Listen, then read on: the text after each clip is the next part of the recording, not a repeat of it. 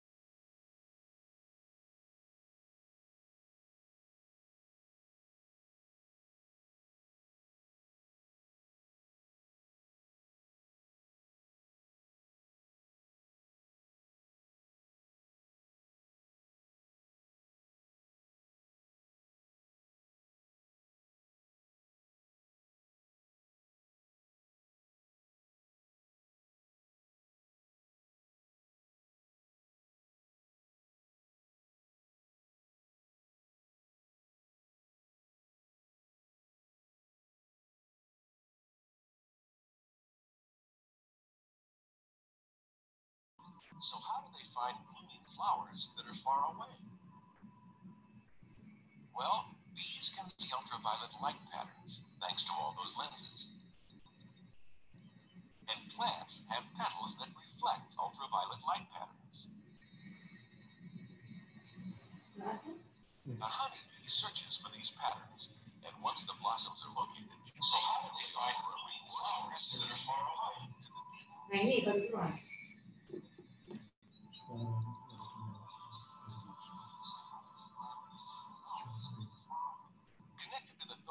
Pak Yudi, Pak Yudi, sudah masuk Pak Yudi. tak unmute. Udah dengar? Gak kru masalahnya Pak Yudi. Masuk gak krungu rek. Si sabar. Wis, jelas? Gak, gak krungu Sam. Gak krungu iki perkara gak tau dikirimi Bandung terus pendengarannya berkurang ta ya apa iki? Apa? Lalu caranya jelas Pak Yudi? Anu anu, enggak perlu. Suaranya jelas iki Pak. Ini. Si, Oh, soalnya Pak bisa ya. eh jelas.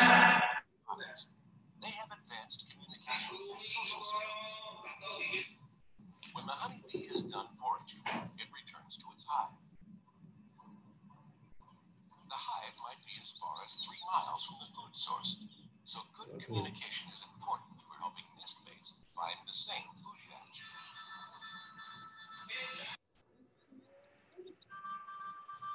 This honeybee has just arrived with a full load of pollen in its pollen baskets and a full load of nectar. Now it's time to dance. But this isn't a celebration dance. The worker is actually telling other bees where the pollen and nectar was found.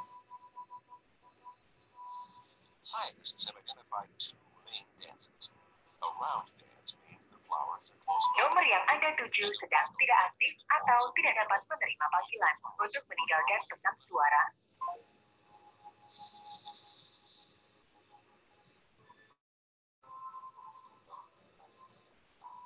The hive is a nest for raising young honeybees and storing food.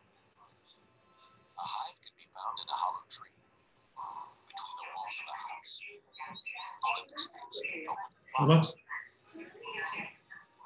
These wooden bee boxes are man-made spaces for honeybees to build their nest. Why would humans do such a? Well, for the honey, of course.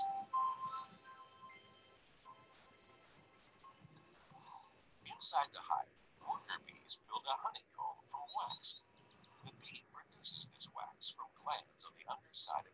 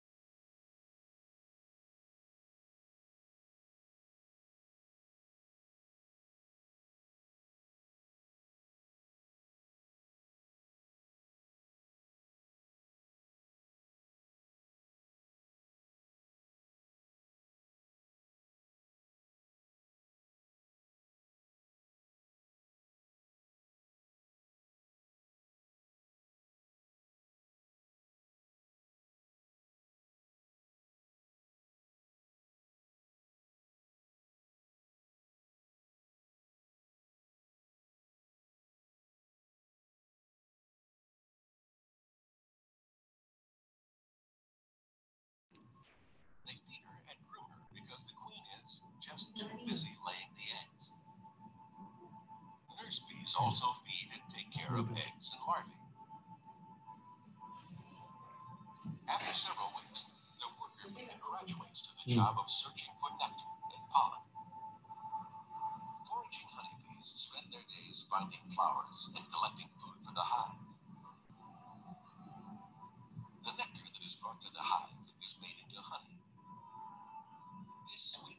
is an important food source for the hive and will help them to survive the cold winter months when nectar and pollen are no longer available.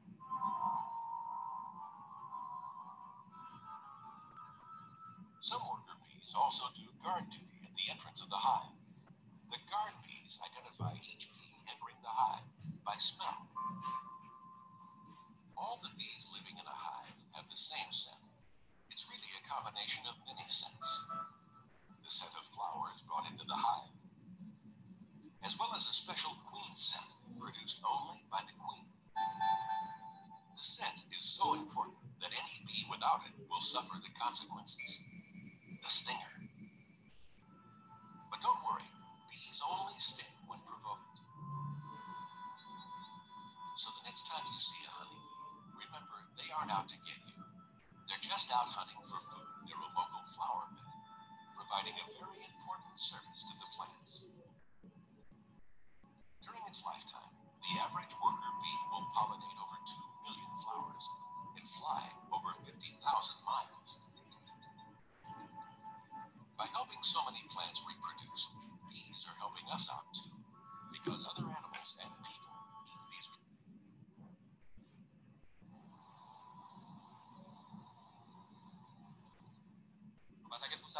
Darat RSPAD Gatot Subroto mempublikasikan hasil penelitian terkait kemampuan ramuan ekstrak propolis untuk mengobati demam berdarah dengue.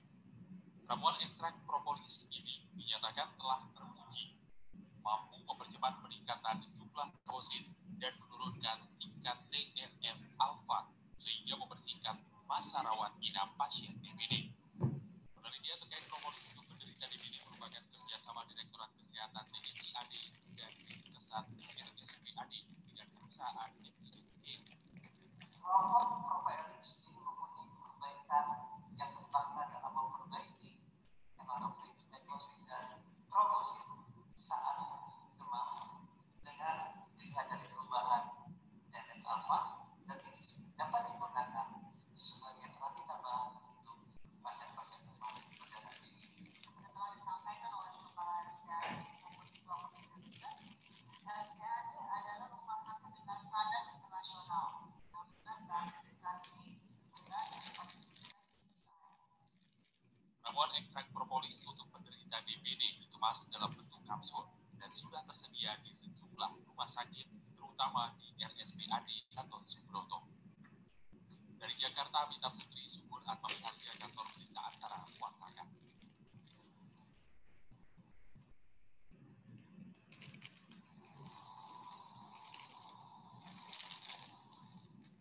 Rumah Sakit Pusat Angkatan Darat RSPAD Gatot Subroto mempublikasikan hasil penelitian terkait kemampuan ramuan ekstrak propolis untuk mengobati demam berdarah dengue. Ramuan ekstrak propolis ini dinyatakan telah teruji mampu mempercepat peningkatan jumlah trombosit dan menurunkan tingkat TNF alfa sehingga membersihkan masa rawat inap pasien DBD. Penelitian terkait propolis untuk penderita DBD merupakan kerjasama Direktorat Kesehatan TNI AD dan Tim Kesat RSPAD dengan perusahaan FISG. Kelompok profiling ini mempunyai perbaikan yang utama dalam memperbaiki hematokrit nekrosis dan trombosit saat demam dengan dilihat dari perubahan TNF alpha dan ini dapat digunakan sebagai terapi tambahan untuk pasien-pasien demam berdarah tinggi.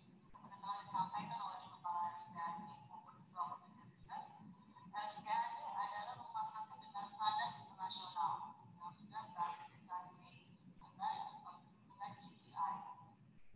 Ramuan ekstrak propolis untuk penderita DBD dikemas dalam bentuk kapsul dan sudah tersedia di sejumlah di Mulai. RSPAD Gatot Subroto.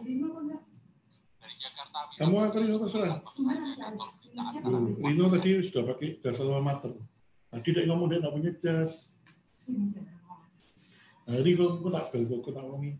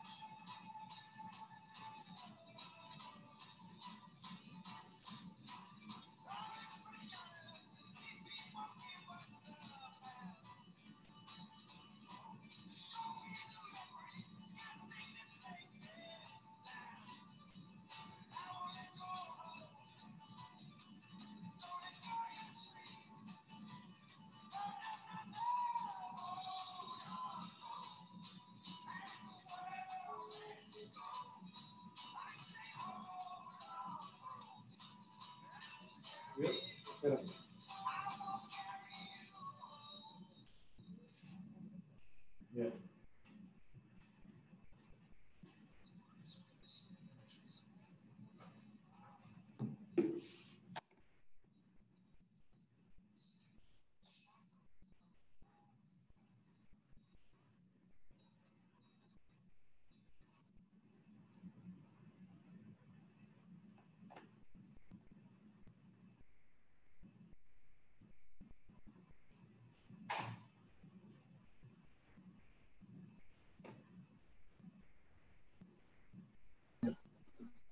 Ya, baiklah. Selamat pagi rekan-rekan yang sudah bergabung di Propolis channel ini dan Anda yang sudah di Zoom maupun yang sudah di YouTube ya. Oke.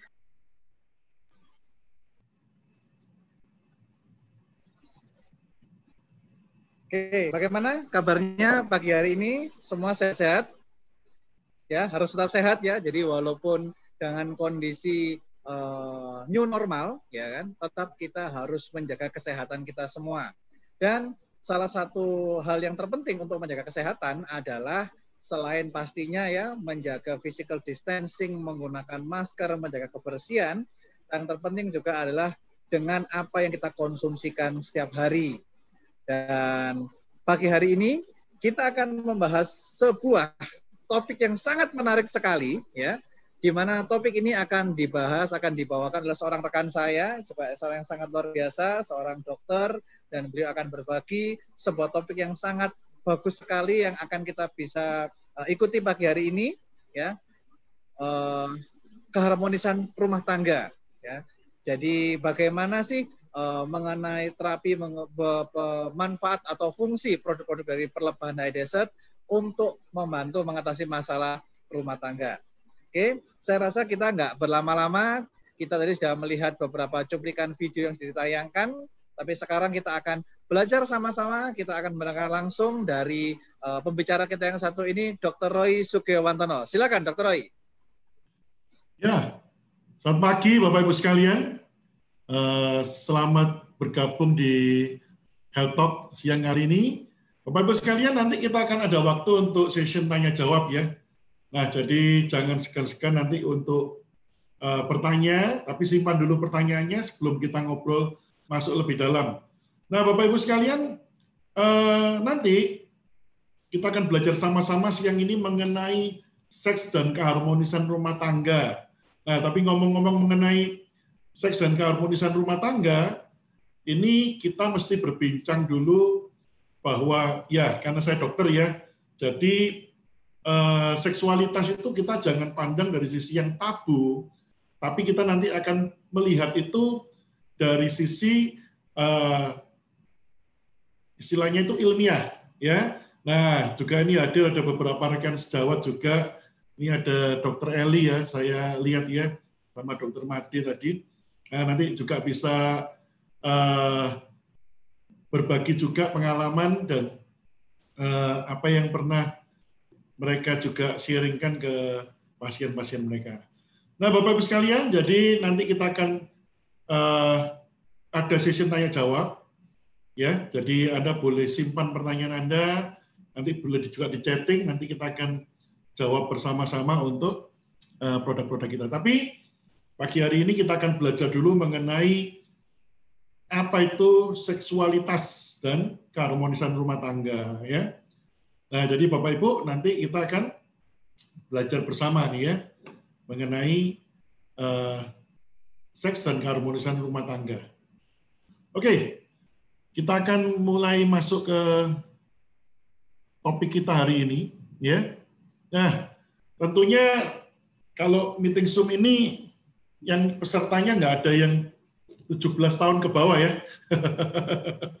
ya, jadi kita akan membahas, nanti kalau ada sesuatu Anda boleh chat di talk Anda. ya.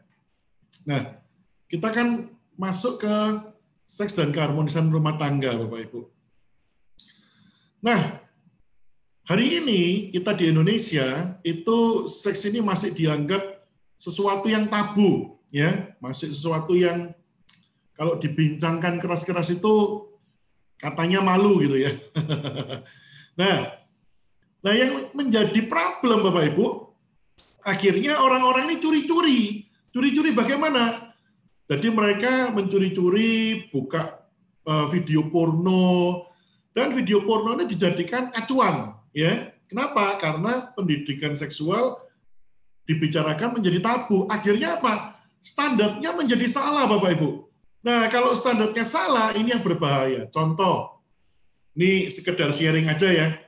Bapak Ibu, tahu nggak kalau bintang film porno itu yang dimuat tuh yang eh, istilahnya itu di luar kebiasaan. Contoh, ukuran alat vitalnya itu melebihi standar. Tapi karena kita melihat dan acuannya itu, ada saya pernah mengkonseling orang yang minder karena ukuran alat kelaminnya itu menurut dia tidak standar dari film-film yang dia lihat. Akibatnya terjadi minder. Ya. Nah, ada lagi yang pernah konseling sama saya. Dokter Roy, apakah saya ini mengalami satu kelainan? Kenapa? Hubungan seks saya itu tidak normal. Kenapa nggak normal? Kalau saya nonton di film itu bisa sampai satu jam. Nah, itu yang tidak normal sebenarnya. Nah, nanti kita akan belajar bersama, Bapak Ibu. Yang normal dan tidak normal itu seperti apa. Karena acuan kita ini salah, sehingga orientasi kita juga menjadi salah. gitu ya. Oleh karena itu. Nah, yang, ke- yang berikutnya, sering kali terjadi pernikahan eh, pernikahan dini dan perceraian itu karena kurang edukasi. Ya, pernikahan dini muncul kenapa? Karena ingin tahu, coba-coba sendiri, ya karena maklum ya ABG itu kan rasa ingin tahunya lebih besar. Kalau justru yang ditutup-tutupin itu kan penasaran mereka kan. Nah, tapi kalau ini dijadikan sebuah edukasi, sebuah pelajaran, itu menjadi pemahaman. Nah, oleh karena itu kita akan belajar sama-sama Bapak Ibu ya. Hari ini semoga ini bisa menjadi satu referensi buat kita semua untuk kita belajar. Dan nanti juga di akhir session saya juga ada materi mengenai bagaimana kita mengatur eh, perencanaan dalam keluarga. Jadi yang nanti ingin ada rencana ingin punya keturunan, ingin punya anak, itu nanti kita bisa lakukan eh, perencanaan. Ya, kita merencanakan sebagai manusia, Tuhan yang menentukan. Oke, kita akan lanjut lagi. Nah, Bapak Ibu, di dalam kehidupan rumah tangga kita ya, yang menarik 90% penyelewengan munculnya yang namanya pil, pria intim lain, will, wanita intim lain. Seringkali apa? Karena terjadi ketidakpuasan seksual. Ketidakpuasan seksual ini kenapa? Yang pertama bisa jadi karena tidak ada komunikasi, karena setiap kali mau komunikasi ini dianggap tabu. Akibatnya terjadi apa? Karena tabu, tidak pernah dibincangkan, dan akhirnya menjadi masalah. Ini contoh, saya pernah konseling Bapak Ibu ya, ada dua tahun suami istri menikah, mau cerai. Kenapa? Setelah ditanya lebih lanjut, ternyata mereka ini menikah nggak pernah tahu hubungan seksual itu seperti apa. Mereka hanya tahu bahwa orang itu tidur bersama bisa punya anak gitu ya. nah ini yang menarik ya, tidur bersama, tidur aja gitu, bisa punya anak gitu. Nah, terus dua tahun ngapain? Nggak ngapa-ngapain Bapak Ibu ya. nah ini banyak pendidikan-pendidikan yang kurang tepat kan dianggap kalau ngomong seksual itu tabu ya, berdosa gitu ya. Nah, ada lagi yang kemarin saya konseling, ternyata nggak pernah berhubungan. Kenapa? Karena ditanamkan, karena maaf ya, ini yang wanita tinggalnya di dalam eh, lingkungan yang religius, dimasukkan satu pondok pesantren, tetapi pemberitahuannya adalah membicarakan seks itu tabu. Akibatnya nggak pernah dapat hubungan seksual, akhirnya pada saat tiap kali mau berhubungan, itu merasa berdosa. Akibatnya tidak pernah punya keturunan. Ya, ini macam-macam ya. Eh, jadi makanya kita perlu belajar sama-sama nanti. Bagaimana sih idealnya pendidikan seksual gitu ya. Nah, gangguan seksual juga menyebabkan tingginya angka perceraian. Nah, sering kali Bapak Ibu gangguan seksual ini muncul bukan karena eh, gangguan yang 100% gangguan, tetapi justru karena ketidaktahuan. Oleh karena itu, nanti kita akan belajar bersama-sama. Ya, harapan saya ini yang nonton Anda rekan-rekan jangan ngajak ini ya anak-anak kecil dulu ya. karena kita akan Eh, kalau anak kecil cara penyampaian lain. Nah, di sini Anda sudah dewasa, ini seminarnya lebih eh, terbuka gitu ya. Nah, kita akan belajar sama-sama. Nah, sekarang kita akan lihat yang namanya anatomi dari alat reproduksi pria.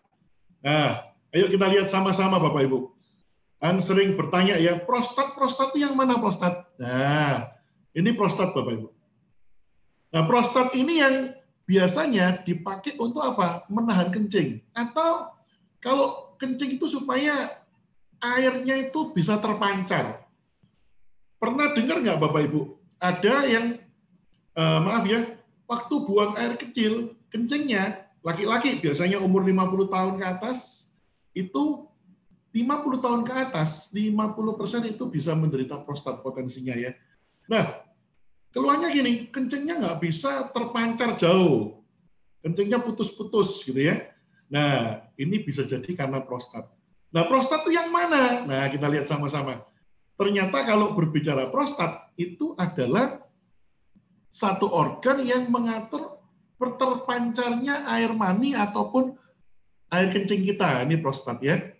Nah, kalau pada laki-laki, saluran kencing dan saluran sperma ini jadi satu. Nah, kalau ini yang namanya testis yang menghasilkan sperma, di sini ada salurannya, kita lihat sama-sama ya. Nah, ini nah kalau untuk ini saluran kencing, nah ini saluran sperma, ya. Nah, yang namanya vas deferens ini ya. Nah, ini saluran sperma. Ini testisnya. Nah, kalau laki-laki ini jadi satu ya untuk sperma dan untuk air kencing, ya. Jadi menyatu. Nanti kalau wanita berbeda. Nah, sering jadi pertanyaan, Dokter Roy, punya saya ini normal atau tidak? Pernah ada satu ketika seorang ibu-ibu konsultasi, tanya, dokter kayaknya saya ini suami saya punya kelainan, kenapa? Kok tidak bisa punya anak? Kenapa? Penisnya kecil sekali katanya. Lu kecil itu berapa? Nah, ternyata Bapak Ibu, karena dia nonton film-film porno atau blue film, ukuran yang raksasa-raksasa itu dianggap standar ya. Nah, ternyata ukuran orang Indonesia itu normal adalah 8 sampai 10 cm. Dan kalau misalkan ereksi 10 sampai 12 cm. Ya, ada yang 13 14 itu variasi ya, variasi. Nah, ini idealnya. Nah, tetapi pada orang-orang yang cenderung gemuk biasanya kelihatan kecil kenapa? Karena tertutup lemak. Nah, jadi kelihatan kecil ya kelihatan gitu ya, bukan kecil ya. Nah, sebab nanti ada kelainan sendiri yang memang benar-benar kecil. Ya, kita lanjut lagi. Nah, ini awas ini. Nanti pulang diukur ini punya suaminya. Kenapa? Mau ngecek ini suami saya normal apa enggak gitu ya. Wah, gawat. Ya, jangan terlalu vulgar ya. Nah, sekarang kita lihat yang wanita, yang wanita. Kita lihat dulu Bapak Ibu sebelah kiri ya, sebelah kiri. Nah, oh ya, ini kalau ini organ dalam, sebelah kanan ini organ luar ya, organ luar. Nah, ini vagina yang dipakai berhubungan seksual. Nah, ini serviks. Serviks itu pintu rahim. Nah, sering dengar ya, kanker serviks, kanker serviks. Ini yang terkena kanker yang di sini, yang di luar ini ya. Nah, ini adalah uterus atau rahim jadi Bapak Ibu yang kalau wanita itu kenapa bulanan, itu setiap bulan dindingnya ini luruh, ya keluar. Nanti bulan baru Tuhan akan izinkan ini menjadi penuh lagi supaya siap untuk adanya pembuahan. Nah, di sini ada dua kanan dan kiri. Ini tempatnya yang namanya ovarium atau tempatnya dihasilkan sel telur. Nah, ini bagian dalam, Bapak Ibu ya. Jadi nanti sel telurnya akan keluar dari sini, dia jalan di tuba falopi di sini. Kalau di sini ini ada ketemu sperma terjadi pembuahan, dia akan melekat. Tapi kalau tidak terjadi pembuahan, dia akan jatuh ke bawah. Dan kemudian dinding lahirnya juga, dinding rahimnya akan lurus juga. ya. Nah, sekarang kita lihat yang sebelah kanan. ya, Sebelah kanan. Nah, kalau ternyata tadi laki-laki saluran sperma dan saluran kencing jadi satu, Khusus wanita ternyata berbeda, ya. Jadi ada yang tanya ini, kalau saya kencing itu sebenarnya lubangnya yang mana? Nah, kita lihat sama-sama. Bapak Ibu ini ada yang namanya uretra opening. Nah, di sini ini adalah tempat keluarnya saluran kencing. Ya, jadi kalau kencing terpancar dari sini. Ya. Nah, kalau yang bayi itu lahir dari mana? Dari yang di sini, berbeda lubang. Ya. Jadi kalau sampai eh, wanita ini beda lubang. Ini di sini untuk kencing, di sini untuk yang namanya saluran reproduksi. Ya. Nah, kita belajar sama-sama. Ini ada bibir, ya, bibir vagina. Ini bervariasi, Bapak Ibu, ya. Ada yang panjang, ada yang kecil, ada yang pendek, ya. Bervariasi tiap wanita tidak sama. Nah, di sini ada benda kecil namanya klitoris. Nah, ini yang sering kali kalau eh, istilahnya dalam berhubungan seksual, ini peran organ kecil ini sangat penting sekali. Kenapa? Karena pusat rangsangan daripada wanita itu di klitoris ini, ya. Nah, ini yang sensitif adalah area di sini, ya, klitoris ini. Nah, kemudian ada yang tanya, dokter yang namanya selaput darah atau himen, ya, itu di mana? Nah, selaput darah di sini. Jadi Bapak Ibu, ini kalau misalkan eh, seorang dokter ya ditanya ini visum, ini masih perawan nggak gitu ya? Jadi dokter ini akan memasukkan jaringnya di sini untuk ditarik untuk melihat apakah ini ada robekan atau tidak. Jadi kalau dia ini intak ya nggak ada robekan maka ini masih perawan. Terus kalau ada robekan itu akan kelihatan ya benda eh, bekas robekannya. Loh, apakah selalu hubungan seksual ini akan menyebabkan eh, himen ini robek? Belum tentu. Bapak Ibu ada beberapa wanita yang ternyata lahir dengan himen atau selaput darah yang sangat tebal, jadi berhubungan tetap bahkan pernah dijumpai sudah punya anak masih ada. Wah, ini luar biasa ya. Padahal sekarang ini ada yang sampai operasi lagi untuk menjahit selaput darah supaya perawan lagi gitu katanya ya. Nah, apakah karena itu aja tidak Bapak Ibu. Jadi misalkan terbentur atau pernah ini yang berkuda gitu ya, itu robek bisa. Jadi tidak selalu eh, ini biasanya nggak dokter kan tulisannya trauma karena benda tumpul gitu ya biasanya. Nah, ini saya lanjutkan lagi ya. Nah, pernah dengar yang namanya G-spot Bapak Ibu? Wah, ini konon, konon, konon ya. Eh, wanita itu akan bisa mengalami orgasme di dalam berhubungan seksual atau kenikmat puncak kenikmatan seksual itu kalau terkena pada G-spotnya ya. Nah, sehingga akhirnya dibuat sebuah penelitian. G-spot itu bagaimana posisinya, bagaimana letaknya di mana. Ternyata Bapak Ibu, G-spot itu letaknya, jadi ini maaf ya, ini kalau tangan dimasukkan, ya ternyata hanya kurang lebih sekitar 3 cm atau tiga setengah cm saja daripada ujung vagina. Oleh karena itu eh, terbukti bahwa orgasme seorang wanita itu tidak tergantung dari berapa panjang penis seorang pria yang berhubungan dengan dia. Jadi ini menjawab pertanyaan, dokter ini punya saya kecil sekali, cuma 5 cm, cukup 5 cm sudah bisa memberikan kepuasan seksual. Wow, ya. Jadi tidak perlu sampai stres, sampai akhirnya minum obat-obat, terapi macam-macam untuk memperpanjang penis. Ya, bahkan ada kemarin saya mendengar ya, saking kepinginnya supaya penisnya besar karena diolok-olok sama orang. Akhirnya dia lakukan operasi itu eh, dipasang kayak semacam pen ya, eh, dimasukkan ke dalam penisnya. Yang terjadi apa? Dia bukan ke dokter, tapi ke salon, nggak tahu salon apa ya. Eh, dia masukkan tuh kayak batangnya sikat gigi ya, dimasukkan. Malah infeksi, malah diamputasi. Ya, nah ini banyak kejadian seperti itu.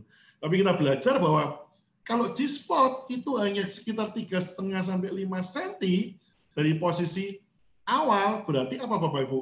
Panjangnya penis tidak menentukan orgasme seorang wanita. Jadi tidak perlu nanti kompetisi panjang-panjangan, besar-besaran tidak perlu Bapak Ibu. Karena hanya apa? Hanya tiga setengah sentimeter saja yang dibutuhkan. Ya, dari sini ini ini G-spot. Dan konon, konon posisi yang paling mudah untuk mencapai yang namanya G-spot itu katanya itu namanya doggy style ya. Kalau lihat gambar ini jangan negatif dulu, jangan mikir porno ya. Ini sepeda Bapak Ibu ya, sepeda ya. Ini cuma boneka boneka manekin aja ya. Nah, ini gara-gara senar seks sudah mikir wow dulu gitu ya. Oke. Nah, terus kita akan membahas yang namanya sex position Bapak Ibu. Ternyata Bapak Ibu, manusia ini luar biasa ya. Mereka bereksplorasi di dalam seksual. Ternyata ada yang kemarin tuh nulis buku. 365 gaya. Waduh, punya 365 gaya. Ya, Bapak Ibu, ternyata sex position itu macam-macam, gayanya banyak. Tapi kembali sekali lagi kalau kita dari medis ya, dari eh, dokter atau para medis menyarankan yang pertama adalah carilah posisi yang aman dan terbaik untuk Anda. Kenapa? Karena beberapa kali kita di UGD itu pernah ngalamin yang namanya fraktur penis. Apa itu fraktur penis? Nanti kita akan bahas sama-sama. Jadi penis ini patah Bapak Ibu. Ya, kenapa kok bisa patah? Karena ternyata gaya yang terlalu heboh gitu ya. Pernah satu ketika saya di UGD, lima pasien katanya nyoba gaya helikopter. Apa itu gaya helikopter? Istrinya diputar-putar katanya. Nah, terjadi patah ya. Nah, gejalanya apa? Gejalanya datang langsung pakai sarung, sarungnya diangkat tinggi, ternyata cedera, patah ya. Ini karena terjadi terlalu heboh kayaknya. Ada yang kemarin juga salah urat punggungnya gara-gara apa? Ya istrinya diangkat ternyata langsung HNP krek gitu ya. Istrinya sekarang sudah bertambah berat, tidak seperti waktu masa dulu. Jadi gaya ini sesuaikan dengan usia, dengan kondisi kesehatan, dan yang paling penting adalah kenyamanan. Ya, Nah, Bapak Ibu, ini adalah sex position yang dianjurkan pada saat wanita hamil, ya. Kenapa? Ya, tentunya kalau hamil jangan ambil posisi yang terlalu akrobatik ya. Kalau posisinya terlalu akrobatik nanti berbahaya gitu ya. akrobatik yang seperti apa? Ya, karena Bapak Ibu kalau usia kehamilannya ini sudah juga mulai ada ya, usia kehamilannya jangan sampai janinnya ini terjadi tekanan-tekanan ya. Nah, ini adalah posisi yang dianjurkan. Yang pertama posisi dari samping ya. Nah, seperti ini ya. Jadi tidak dinaikin seperti posisi misionari gitu ya. Posisi misionari itu kayak apa? Ya, yang laki-laki di atas perempuan ya.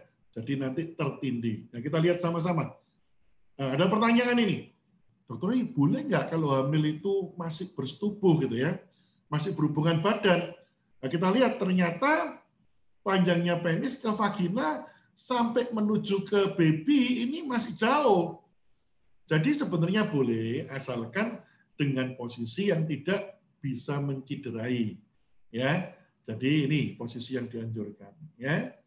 Nah, biasanya memang kalau dokter menganjurkan dua bulan pertama kehamilan eh, sabar dulu. Kenapa? Karena kalau dua bulan biasanya itu plasentanya belum nempel kuat ya. Nah kalau sudah dua bulan itu oke. Okay. Nah biasanya juga kalau sudah mendekati melahirkan juga ya. Kenapa? Ya biasanya tuh kehamilannya udah besar, jadi rawan pecah ketubannya gitu ya. Nah ini posisi yang dianjurkan. Nah Bapak Ibu ini ada beberapa eh, gangguan orientasi yang bisa mengganggu keharmonisan rumah tangga ya. Ini diceritakan supaya kita paham dan kita bisa memahami dan kita berjaga-jaga dalam hal ini. Yang pertama adalah gangguan orientasi. Jadi Tuhan tuh menciptakan eh, di dalam dunia ini laki-laki dan perempuan ya. Adam dan Hawa gitu ya Nabi Adam dan Siti Hawa gitu ya kalau teman-teman Muslim. Nah tapi ada yang kemudian manusia ini ternyata ngomong. Saya nggak puas dengan Adam dan Hawa. Adam dan Michael gitu ya, Adam dan Mike ya. Ya, Siti dan Susi ya. Jadi ternyata sekarang ini di Eropa, di Amerika sudah dilegalkan pernikahan sejenis. Oleh karena itu kita harus lihat ternyata kalau rambu-rambu di kedokteran, rambu-rambu di religius agama ini berbeda. Nah, makanya Bapak Ibu, kalau misalkan ada keluarga kita, misalkan anak kita ya, itu konseling ke kedokteran, memang secara religius akan tidak dianjurkan. Tapi yang aneh, kalau secara dunia medis, itu akan ngomong seperti ini. Eh, yang penting kamu nyaman nggak hatinya. Nah, kenapa? Karena ini terpengaruh dengan pendidikan dari Barat yang mengatakan bahwa yang penting kamu nyaman, hak asasi manusia. Nah, jadi kembali sekarang norma yang kita pakai apa? Norma agama, apa sekedar medis saja. Nah, tentunya kalau di Indonesia kita masih kental dengan norma agama. Oleh karena itu, hati-hati anak-anak kita sekolah ke luar negeri, sekarang di luar negeri sudah dilegalkan pernikahan sejenis. Nah, kalau itu makanya dasar-dasar pemahaman kita perlu berikan. Penyebabnya apa ini? Ketertarikan seksual antara dua seks yang sama. Bapak Ibu yang pertama faktor psikologis. Ada yang mengatakan, oh kasihan, mereka itu terlahir sudah untuk mencintai sesama jenis. Nah Bapak Ibu saya percaya satu, tidak ada Tuhan mengizinkan lahirnya untuk mencintai sesama jenis. Yang ada sering kali ya hampir dikatakan 90% timbul karena faktor psikologis. Maaf ya, kecil misalkan dia pernah tinggal di asrama ya. Terus kemudian di asrama itu terjadi dalam tanda petik itu pelecehan seksual terjadi di sodomi. Nah, anak-anak ternyata yang terlahir dari sodomi Bapak Ibu itu pada saat dia dewasa, pada saat dia besar bisa muncul satu kemungkinan dia akan melakukan yang sama kepada anak-anak kecil dan dia akan mencari korban-korban. Nah, itu sebabnya Bapak Ibu hati-hati karena kadang itu tidak nih ya, jadi dia masih bisa. Di kemarin ada satu rekan saya eh, sudah menikah, ternyata baru dia sadar bahwa suaminya itu ternyata homoseksual, padahal sudah menikah, punya anak, punya anak. Nah, tetapi dia ngomong lebih kalau ketemu sama sesama jenis itu lebih muncul gairahnya. Nah, ini yang berbahaya. Dan terjadi apa? Ternyata suaminya meninggal kena HIV. Nah, jadi kita harus hati-hati. Yang berikutnya lingkungan. Nah, lingkungan ini sangat berbahaya ya. Kenapa Bapak Ibu? Ini cerita aja. Kemarin pada saat ada yang eh, kita jalan-jalan ke Amerika, saya sempat ngobrol dengan beberapa orang di sana. Terus saya tanya, terus dia bilang gini, itu ada teman saya, suami sama uh, dia punya dua papa, lebih baik daripada papa sama mama tapi tengkar terus. Yang satu juga punya dua mama tapi lebih baik daripada tengkar terus. Nah ini ya lingkungan ya dan faktor hormonal. Jadi ada orang-orang yang terlahir kelainan hormon Bapak Ibu dan ternyata setelah dicek, diselidiki, ternyata dia bukan terlahir seorang pria, tetapi apa? di dalamnya organ wanita. Ya nanti itu lain lagi. Nanti kita belajar sama-sama. Nah, ada yang namanya gangguan struktur anatomi. Jadi kalau tadi kita sudah lihat yang normal, kita sekarang lihat yang gangguan. Ini ada namanya hipospadi, Bapak Ibu. Jadi ini kalau dibuka, ternyata ini saluran penisnya ini ada problem. Jadi penisnya ini lubang. Jadi kalau disunat atau disirkumsisi, ini tidak bisa terpancar nanti spermanya. Biasanya kalau sudah tahu seperti itu, dokter akan menyarankan dilakukan operasi ya untuk menutup. Ya. Nah, ada lagi yang namanya pseudo hermafrodit. Nah, ini tadi yang saya ngomong. Laki-laki bingung, wanita juga bingung. Kenapa? Kalau ini diomong klitoris kok besar kayak penis, tapi di tengahnya lubang. Nah, ini laki-laki apa perempuan? Nggak tahu. Tahunya dari mana? Dilakukan pemeriksaan organ dalam. Apakah ini ada testisnya tumbuh, apakah ini yang muncul rahimnya? Nah, ini makanya harus dilakukan penelitian. Kadang ada yang sudah sampai remaja pindah kelamin. Kenapa? Karena sejak kecil salah makaikan baju. Laki-laki perempuan tidak jelas. Nah, ini lagi ada yang namanya mikropenis ya. Jadi penisnya kecil sekali ya. Tapi sekali lagi ya, kecilnya seberapa?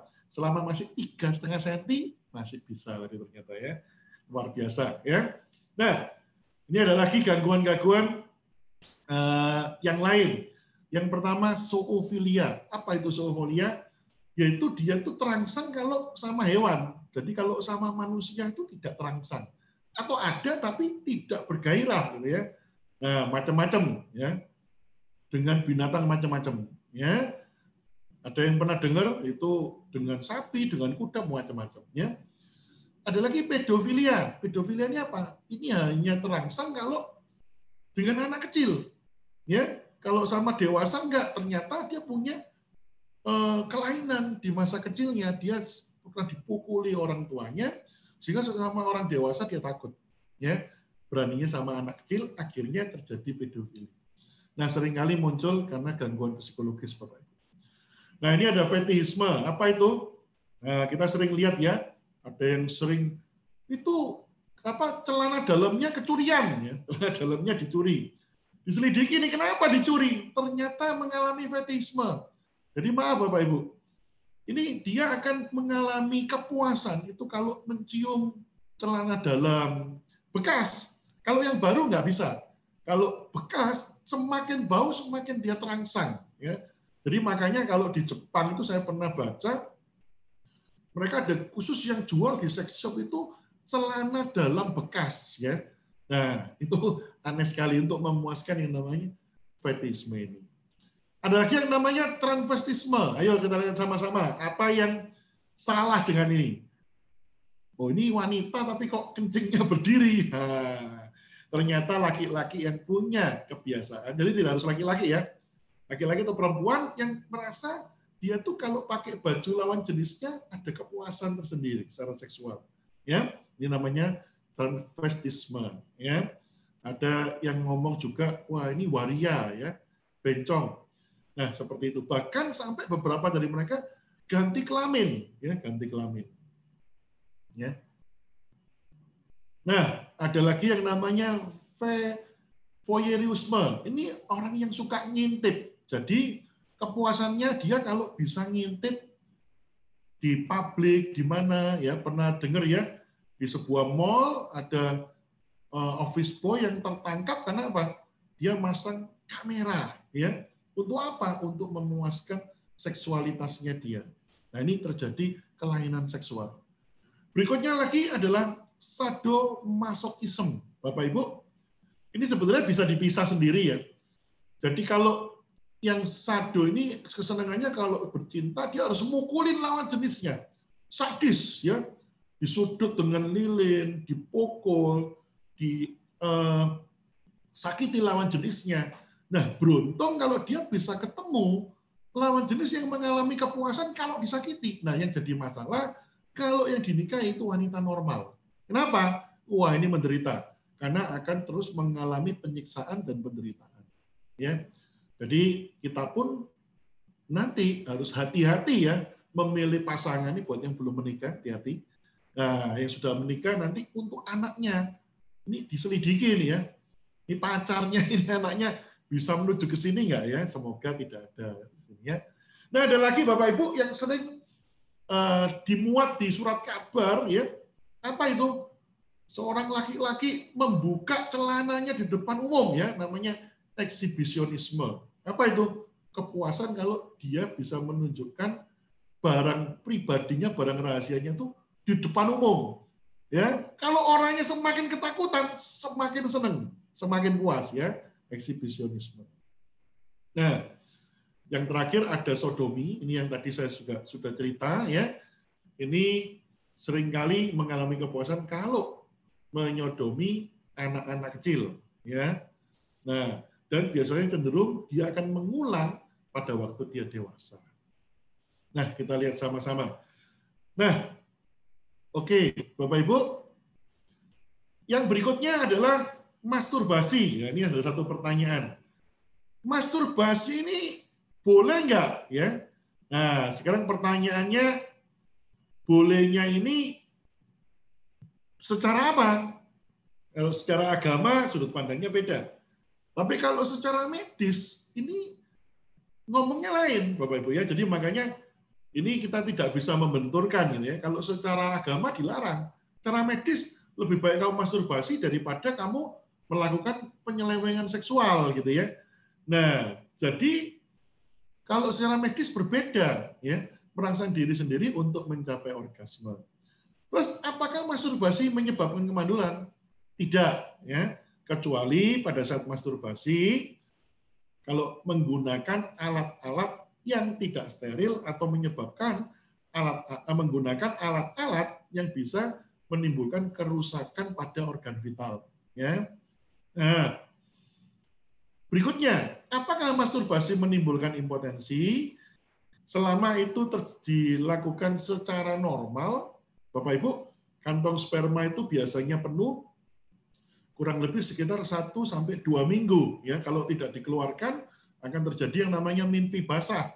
Nah, tetapi kalau orang-orang tertentu ada yang mengalami kelainan seksual, masturbasi itu bisa satu hari 12 kali.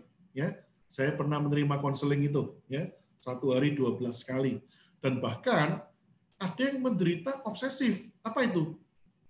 Tidak bisa berhenti untuk melakukan masturbasi. Ada, ada. Jadi akibat tidak melakukan pengendalian diri, dan mengatur diri kita dengan baik, akibatnya salah menerima pemahaman. Ya. Nah, kita lanjutkan lagi. Nah, sekarang kita akan belajar sama-sama mengenai ejakulasi dini, Bapak Ibu. Yaitu keluarnya air mani sebelum waktu yang dikehendaki. Ya, jadi kalau terjadi hubungan seksual, ini pertanyaannya, idealnya berapa lama, Pak Dokter? Ya, ada yang ngomong, ini kalau melihat film setengah jam sampai satu jam. Itu kan film Bapak Ibu. Sekali lagi, kita di depan sedang ngomong. Ya, acuan kita salah gara-gara apa yang dipakai acuan film porno. Ya. Ternyata hubungan seksual yang wajar itu hanya 3 sampai 5 menit Bapak Ibu. Ya. Wah, saya lebih dokter lagi, saya 15 menit. Bagus Berarti Anda punya kemampuan yang di atas rata-rata. Ya, Tuh, kalau saya ada satu jam, bahkan kadang tidak keluar sama sekali. Wah, ini berarti Anda menderita yang namanya kelainan. Apa itu? Ada nanti yang namanya anorgasmus. Jadi sulit sekali untuk orgasme. Ya, Penyebabnya macam-macam. Ya. Nah, kalau keluar dulu sebelum waktunya, ya ada yang ngomong, saya ini punya problem, Pak. Apa itu? Peltu apa peltu? Nempel langsung metu gitu ya. Atau editansil ejakulasi dini tanpa hasil gitu ya. Nah baru ditempelkan sudah keluar gitu ya. Nah ini berarti ayo kita pelajari. Apa ini? Nah ada beberapa penyebab. 90% ternyata faktor psikis Bapak Ibu ya. Nah ini ada yang kemarin konsul sama saya. Dokter Kenapa kalau saya tuh melihat istri saya nggak terlalu berselera. Tapi kalau saya melihat istri tetangga, kenapa ini saya justru malah berselera? Wah ini aneh. Lihat istri sendiri nggak selera. Akhirnya saya mulai selidiki, kenapa? Ternyata Bapak Ibu, istrinya galak sekali. Ya. Jadi ini cerita nih ya. Kalau dia pulang rumah, gitu kan, ya mungkin dia di jalan, dia melihat pemandangan, wah ada cewek cantik lewat, dia menyabarkan diri. Nanti saya pulang ke rumah ada penyaluran gitu ya. Eh sampai di rumah. Istrinya maaf ya masih di dapur. Bau bawang rambutnya kucel-kucel pakai das tersobek-sobek hei sayang datang. Tangannya diangkat ya bau keringat ya. Langsung ilfil seleranya hilang. Atau ada juga dijumpai Ternyata apa? Galaknya bukan main. Jadi kalau mau berhubungan ya masuk. Eh, buka celananya. Ya, jangan lama-lama ya. Satu menit. Galak Bapak Ibu ya. Nah, ini juga faktor psikologis ya. Nah, jadi yang berikutnya stres. Bapak Ibu beberapa orang yang mengalami stres contoh kalau dia mau berhubungan tapi terus ingat ya. Anda boleh coba ada nanti waktu berhubungan mikir. Mikirnya gimana? Utang saya belum lunas, utang saya belum lunas. maka yang terjadi apa? Akan bisa terjadi juga ejakulasi dini. Ya. Nah, kenapa? Karena stres ya, karena banyak pikiran stres ya. Nah, sekarang apa yang kita bisa lakukan untuk terapi ya? Yang pertama ada psikoterapi. Tentunya kalau stres harus diajak ngomong ya. Diajak ngobrol apa penyebabnya. Nah, kalaupun ternyata problemnya adalah oh penampilan istrinya gitu ya, harus dicarikan solusi. Nah, tapi ada juga Bapak Ibu, ternyata ini eh, kebiasaan terlalu sering masturbasi bisa menyebabkan ejakulasi dini. Betul? Bisa ya. Salah satu penyebabnya apa? Frekuensi ejakulasi yang eh, masturbasi yang terlalu sering. Nah, ini dilakukan latihan. Ya, ini ada latihan. Namanya stop start squeeze ya. Stop start squeeze ya. Ya, ini saya kasih bocoran sedikit latihannya bagaimana. Ya. Ya. Tapi ini untuk yang sudah menikah aja, yang belum menikah nggak perlu ya. Nanti coba-coba. Nah, Bapak Ibu, latihannya bagaimana? Dirangsang, selepas dirangsang, mau keluar, ditahan. ya Ya, ditahan, napas panjang. Napas panjang, terus di perineum, jadi perineum ini kalau ini testis menuju ke anus itu ada saluran sperma. Disuruh ditekan kalau mau keluar, ditahan. Ya, terus lagi, dirangsang lagi sampai 3 4 5 kali sampai lama-lama lama dia punya kemampuan untuk bisa mengandula, mengendalikan ejakulasi. Ya, ini namanya stop start squeeze ya. Atau yang tadi juga basilar squeeze teknik. Jadi saya yang saya ajarin untuk ditekan itu ya, ditekan ya. Ya. Berikutnya kita bisa konsumsi bi ultra. Ada yang kemarin tanya, dokter Roy, saya kemarin ke dokter. Oke, yang dianjurkan apa sama dokter? Yang pertama injeksi. Bagaimana kalau diinjeksi? Bisa, bisa.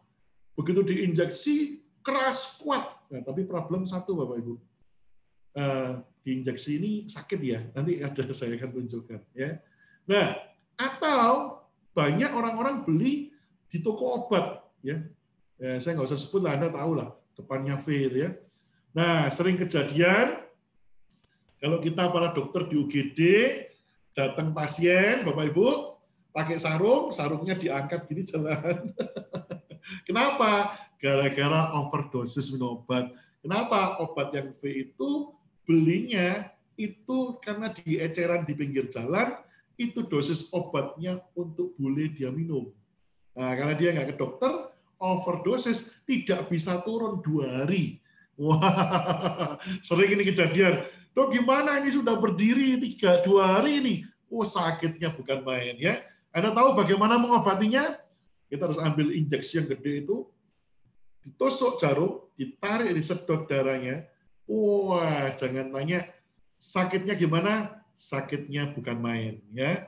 Nah, oleh karena itu, eh, Bapak Ibu, ini pakai Biultra lebih aman, ya. Nah, sekarang kita berbicara mengenai impotensi atau disfungsi ereksi.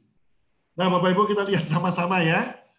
Ini adalah kalau kita lihat ya bentuknya ini. Ini penis. Jadi penis itu ternyata berongga Bapak Ibu. Benda ajaib ya, mestinya kecil, tapi kalau dia terangsang, dia akan bisa tegang keras seakan-akan ada tulangnya. Kenapa? Karena pada saat dia terangsang, aliran darah masuk ke penis, yang rongga-rongga ini ya, ini darah dipenuhi darah, terus kemudian tertutup salurannya, maka terjadi ereksi. Nah, Bapak Ibu, kalau sudah terjadi ereksi bagaimana? Nah, kalau sudah terjadi ereksi, dia akan keras dan tegang. Nah, sering kali timbul gangguan. Apa itu gangguannya? Gangguannya macam-macam, sehingga tidak terjadi yang namanya ereksi yang sempurna. Nah, tidak terjadi ereksi yang sempurna itu bagaimana? Nah, yang Makanya orang sering bercanda gini ya kalau jual bi ultra. Ada fase-fasenya, Pak. Fase apa? Kalau umur 20 sampai 30 itu fase pandangan hidup. Cukup memandang bisa hidup sendiri. Tapi fase 30, 40, apalagi 40 tahun ke atas fase yang namanya perjuangan hidup, ya. Oh, pegangan hidup, dipegang bisa hidup sendiri. Nah, fase 40-50 ke atas fase perjuangan hidup. Diperjuangkan belum tentu hidup. Nah, 70% penyebab pada saraf atau pembuluh darah. Jadi Bapak Ibu, hati-hati pada pasien-pasien yang biasanya menderita penyakit-penyakit metabolik seperti eh, kalau ada masalah dengan diabetes, ya tentunya kalau diabetes peredaran darahnya tidak lancar sampai ke akan mengganggu terjadinya ereksi, kolesterol, ya, trigliserid yang tinggi, serangan stroke dan lain sebagainya, jantung, ya penyakit-penyakit ini pasti akan mengganggu hubungan seksualitas. Makanya itu kalau ada penyakit metabolik pasti hubungan seksualnya akan terganggu. Saya pernah biasanya pada beberapa pasien yang gula darahnya tinggi ya, nah itu sering tidak bisa ereksi dengan sempurna. Ya, nah kita lanjut lagi ya.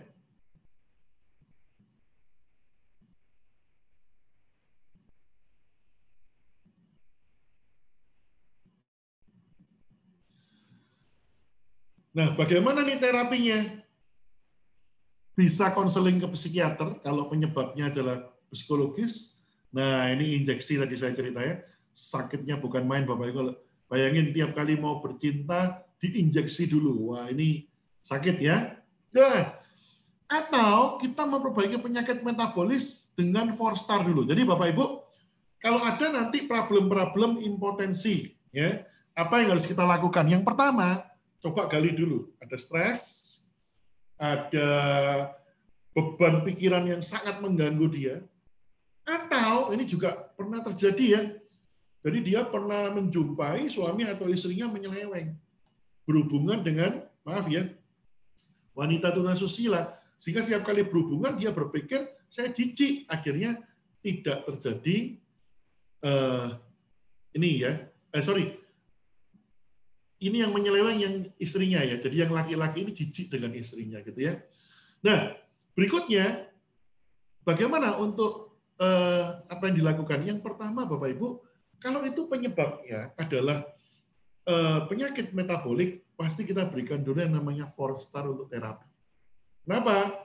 Karena pada saat kita berikan yang namanya four star, metabolisme tubuhnya kembali dengan baik, dengan sendirinya sebenarnya tidak perlu diterapi apa-apa, itu sudah kembali, Bapak Ibu. Ya, Kenapa? Kalau kita ini terlalu lelah, terlalu capek, tentunya untuk seksual pasti tidak maksimal. Ya, tapi kalau kita berikan four star, kondisinya kembali ke kondisi normal, tentunya hubungannya lebih luar biasa. Apalagi kalau kita tambahkan bi ultra. Nanti kita akan bahas apa dan bagaimana bi ultra. Nah, oke, okay. ini saya minta waktu sekitar lima menit untuk menjelaskan beberapa gangguan seksual. Selepas itu kita akan mulai masuk ke sesi tanya jawab. Ya. Nah yang pertama Bapak Ibu ada yang namanya vaginismus. Apa itu? Kekejangan otot pada vagina sehingga tidak pernah bisa masuk itu penisnya. Kenapa? Saya pernah cerita, jadi di dokter sejak kecil bahwa hubungan seksual itu dosa. Sehingga setiap kali mau berhubungan merasa berdosa, tidak terjadi. Atau dia pernah melihat video orang yang kesakitan waktu berhubungan seksual dan dia berpikir hubungan seksual itu sakit sekali. Akibatnya terjadi vaginismus. Atau Bapak Ibu pernah mendengar orang yang maaf ya melanggar pantangan katanya orang-orang di tempat angker berhubungan seksual. Terus tiba-tiba tidak bisa keluar nih ya dibawa ke UGD. Kenapa? Nempel. Terus diberitahu itu karena kualat ya, pamali gitu ya. Nah, ternyata Bapak-Bapak, ya ini maaf ya, mungkin ini dari cerita-cerita yang di UGD ya. Mereka berhubungan terus di, diliatin makhluk halus, hantu.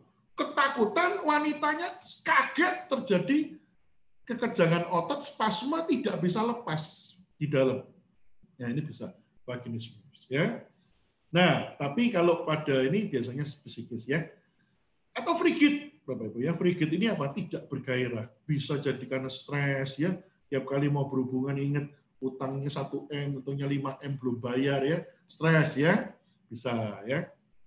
Nah, itu yang sering terjadi Ya, Bapak Ibu sebelum saya masuk ke fase kedua, ini ada sedikit ilmu tambahan nanti kita bisa belajar caranya untuk mengatur kehamilan, caranya bisa nih. Jadi kalau ada yang tanya, dokter Roy saya mau KB alami bisa nggak? Nah nanti sebentar saya akan jelaskan. Atau caranya bagaimana supaya bisa kita punya eh, keturunan dengan program menggunakan produk adik. Sebentar saya akan jelaskan. Saya akan mulai jawab pertanyaan. Jadi Bapak Ibu yang sudah punya pertanyaan-pertanyaan, mau tanya langsung boleh, melalui chat kalau malu juga boleh ya. Oke, silakan saya berikan kesempatan untuk yang mau bertanya ya. Oke, ini dari tadi ada ada pertanyaan ya, saya jawab dulu nih.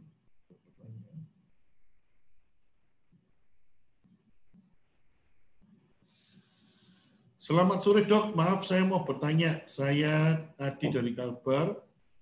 Kalau penis udah ereksi tidak bisa lama dan kalau selagi ada istri sperma susah keluar. Tapi kalau selagi sendiri seperti masuk sendiri ada spermanya. Nah, jadi ini kita bisa lihat dulu ya. Yang pertama kita bedakan. Apakah ini masalah psikologis? Apa masalah psikologis? Punya trouble nggak sama istrinya?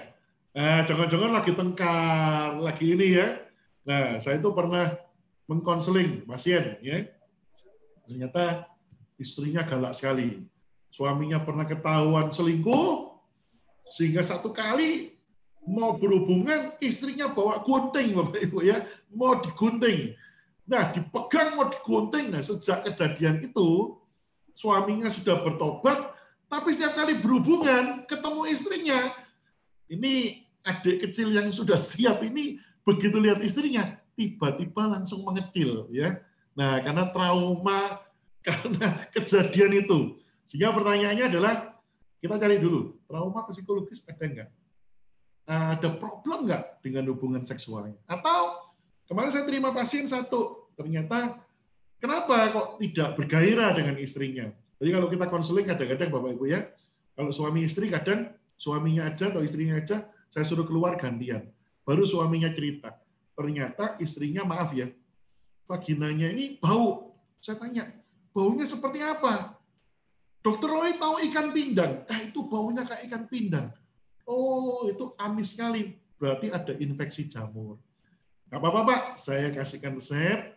ya Kasih yang namanya Forstar, propolisnya ditinggikan anti jamur, sebentar sudah bersih dan sudah lapor sama saya, hubungannya sudah romantis kembali. Nah, baru kemudian kita cek, ada problem lagi nggak dengan masalah dengan eh, kesehatan. Jadi kita cek lab ya, apa aja yang diperiksa? Periksa cek lab lengkap, darah lengkap, kolesterol, trigliserid, fungsi organ kita cek. Ada nggak kelainan-kelainan yang bisa menyebabkan terjadinya yang namanya impotensi. Jadi seperti itu ya. Mungkin itu jawabannya. Ada pertanyaan lagi? Ada yang tanya dok dari Paradise itu dia raise hand itu mungkin mau tanya langsung rasanya. Oh ya silakan silakan. Sebentar. Bentar. Mana tangannya tadi? Paradise.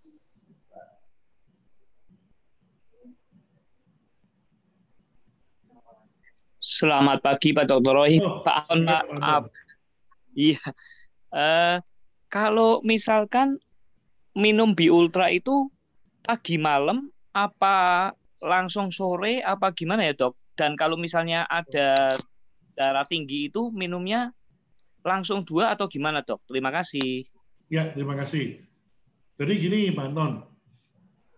Di Ultra ini bukan obat untuk merangsang kita. Nah, ini ini yang perlu kita pahami dulu. Sekali lagi, Bi Ultra bukan obat kuat seperti yang dijual orang-orang itu untuk merangsang kita.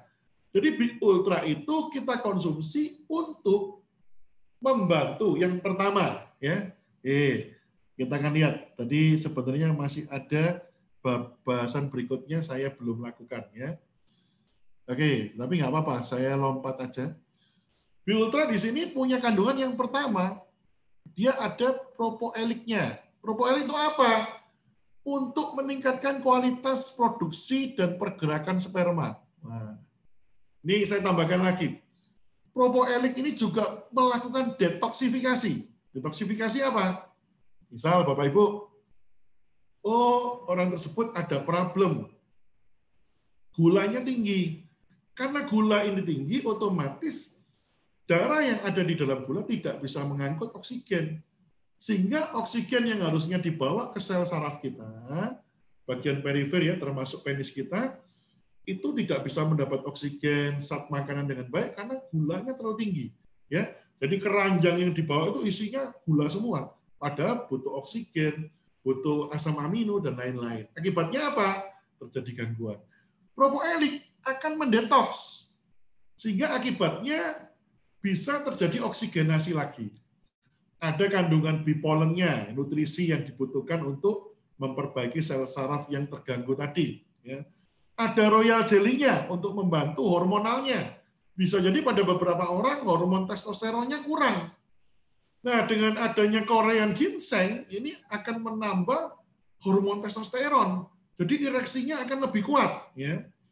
Nah, Avena sativa apalagi ini yang akan mensupport testosteron. Nah, sedangkan Tribulus terratris ini akan menambah jumlah sperma, ya kualitas sperma. Jadi sperma itu nanti saya akan jelaskan. Ternyata ada persyaratan supaya sperma ini bisa membuahi atau tidak, ya. Dan ashwagandha ini sebagai afrosidiak atau menimbulkan performa seksual. Bagaimana kondisinya? Dianjurkan sehari tiga kali. Nah, kalau ingin lebih, waktu mau berhubungan boleh minum dua. Ya, dengan catatan kita juga tetap memantau kondisi kesehatan kita juga. Nah, apakah cukup terjawab, Pak?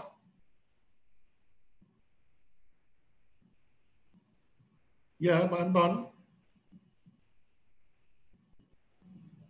Pak Anton? Mungkin sudah merasa terjawab mungkin dok. Oh, merasa terjawab. Sudah jawabannya. Oke. Dok ada pertanyaan lagi. Oh, Pak Anton mau tanya lagi Pak Anton. Silakan Pak Anton. Silakan, silakan.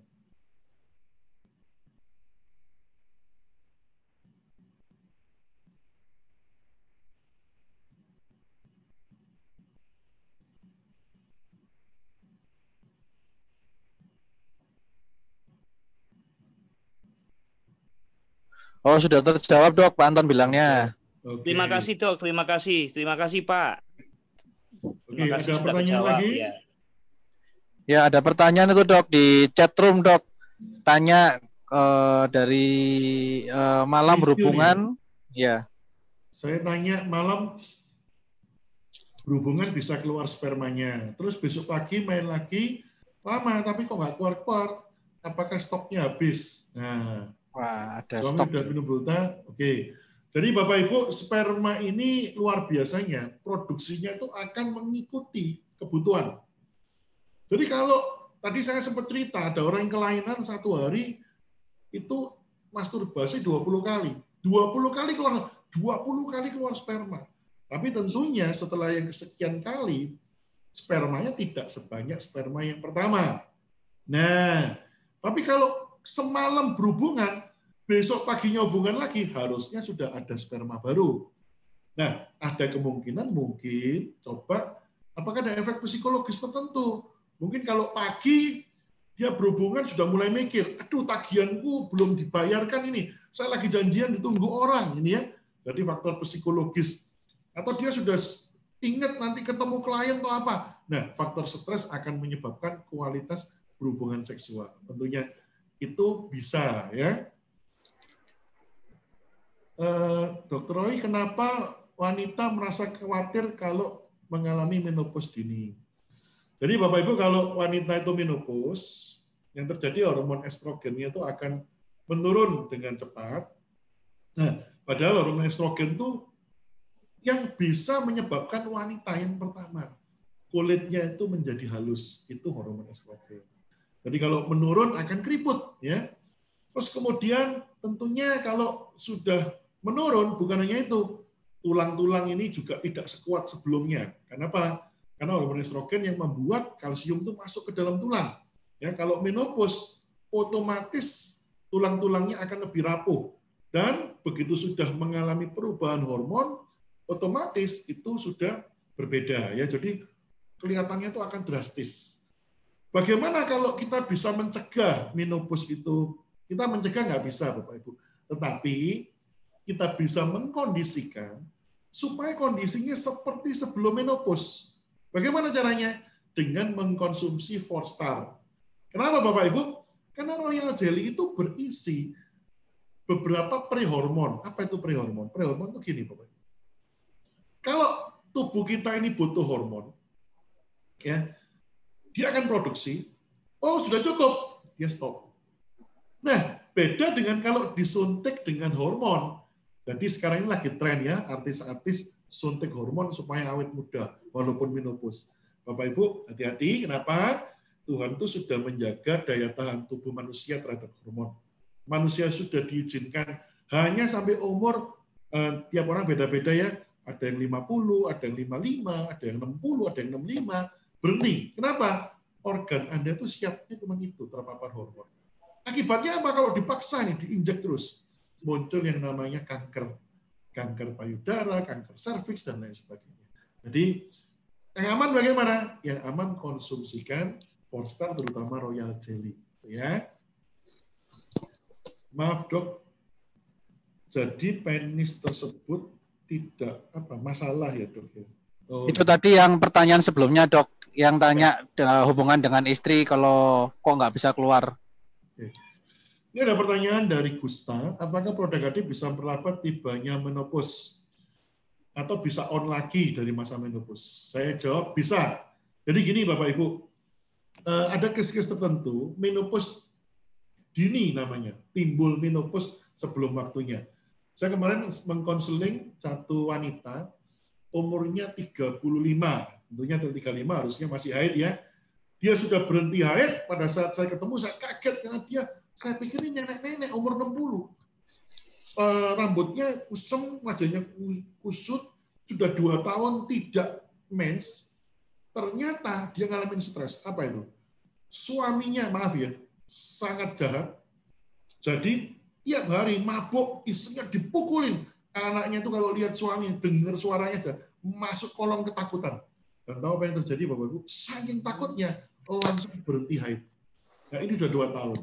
Ternyata setelah diterapi dan dia sudah pisah ya dengan suaminya, eh muncul haid lagi. Dua bulan kemudian ketemu saya kaget. Kenapa? Kan dia sudah jadi cantik kembali ya, sudah haid lagi. Nah, ini keajaiban dari produk ini ya. Oke. Pagi Dr. Roy, ada kenalan saya yang sedang program kehamilan untuk anak kedua. Disarankan konsumsi apa saja dan dosisnya. Oke, saya akan jelaskan selepas ini ada penjelasannya. Sore izin bertanya durasi masuk kategori ejakulasi dini berapa dok? Dan cara pengobatan ejakulasi dini. Tadi saya sudah sempat jelaskan ya, jadi ejakulasi dini tadi kita mesti cek apakah dia ada problem secara psikologis, stres, eh, ada trauma-trauma tertentu atau apa, dicek dulu ya. Itu sangat besar sekali pengaruhnya. Yang kedua, apakah ada penyakit metabolis? Penyakit metabolisnya diperbaiki. Sebab apa Bapak Ibu? Bisa dokter kasih resep ya. Itu obat-obatan yang eh, seketika atau diinjeksi disuntik. Saya bayangkan masa kita tiap kali mau bercinta penisnya disuntik dulu. Sakitnya bukan main. Atau minum obat-obatan itu ya. Ada efek sampingnya juga pasti. Nah, jadi coba kalau itu penyakit metabolik, kita bantu dengan Forstar, kita bantu dengan B Ultra mengalami secara alami perbaikan. Oke. Maaf dok, boleh nanya lagi. Kalau misnya mengalami PCO, apa ya ini? Padahal udah rutin minum Royal Jelly, dua kali satu sendok teh minumnya. Uh, mungkin boleh diperjelas ini. Uh, mau ngomong langsung, kalau malu nggak apa-apa dibantu jelaskan ya. Oke, Bapak Ibu, uh, saya minta waktu sekitar 10-15 menit untuk menjelaskan program kehamilan. Nah, Anda boleh ambil catatan untuk nyatet karena ini menurut saya penting ya. Karena nanti Anda akan menyarankan ini ya untuk pasien-pasien Anda atau customer-customer Anda dan ini sangat penting sekali untuk kita yang mau punya perencanaan keluarga yang baik. Kenapa? ya jangan sampai tiba-tiba lahir anak ketiga, keempat, kelima. Tapi sebelum itu, saya mau mengajak untuk mengenalkan se eh, rekan saya. Rekan saya ini kemarin sudah mencoba keajaiban dari Bi Ultra, Bapak Ibu. Dan yang luar biasa, ini sepasang suami istri, ya, istrinya seorang dokter, jadi masih tahu betul ini suaminya ini perlu diobatin apa enggak gitu ya. Nah ternyata setelah dicek tidak perlu diobatin, tapi bisa mengalami kedahsyatan biultra. Saya tidak berlama-lama, saya akan kenalkan pada Anda Eksekutif Diamond Bapak Muhammad Wahyudi. Ya, saya buka dulu mikrofonnya.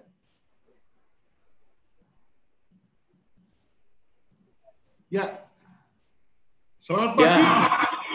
Pagi, Dok. Udah dengar ya suaranya. Ya, ya. Mungkin saya boleh ini ya, sempat bertanya ya. Eh, kalau boleh tahu usia dulu berapa? Usianya sudah berapa Pak Yudi? Eh, usia sekarang sih ah 20 tahun, nambah 30 aja lah. Ini sebelah ini loh protes terus dong. 50 tahun, Dok. Wah, usia 50. Wah, kalau usia 50 ini tadi menurut penghitungan sudah mulai masuk fase perjuangan hidup ini ya. Oh, Oke, oke, oke.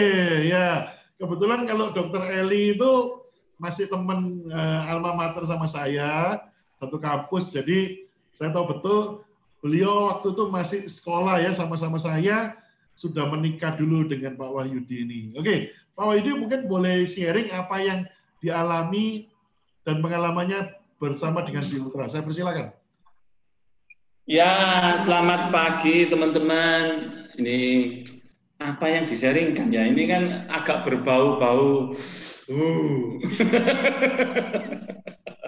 uh, uh, normal-normal aja sih dulu-dulunya itu.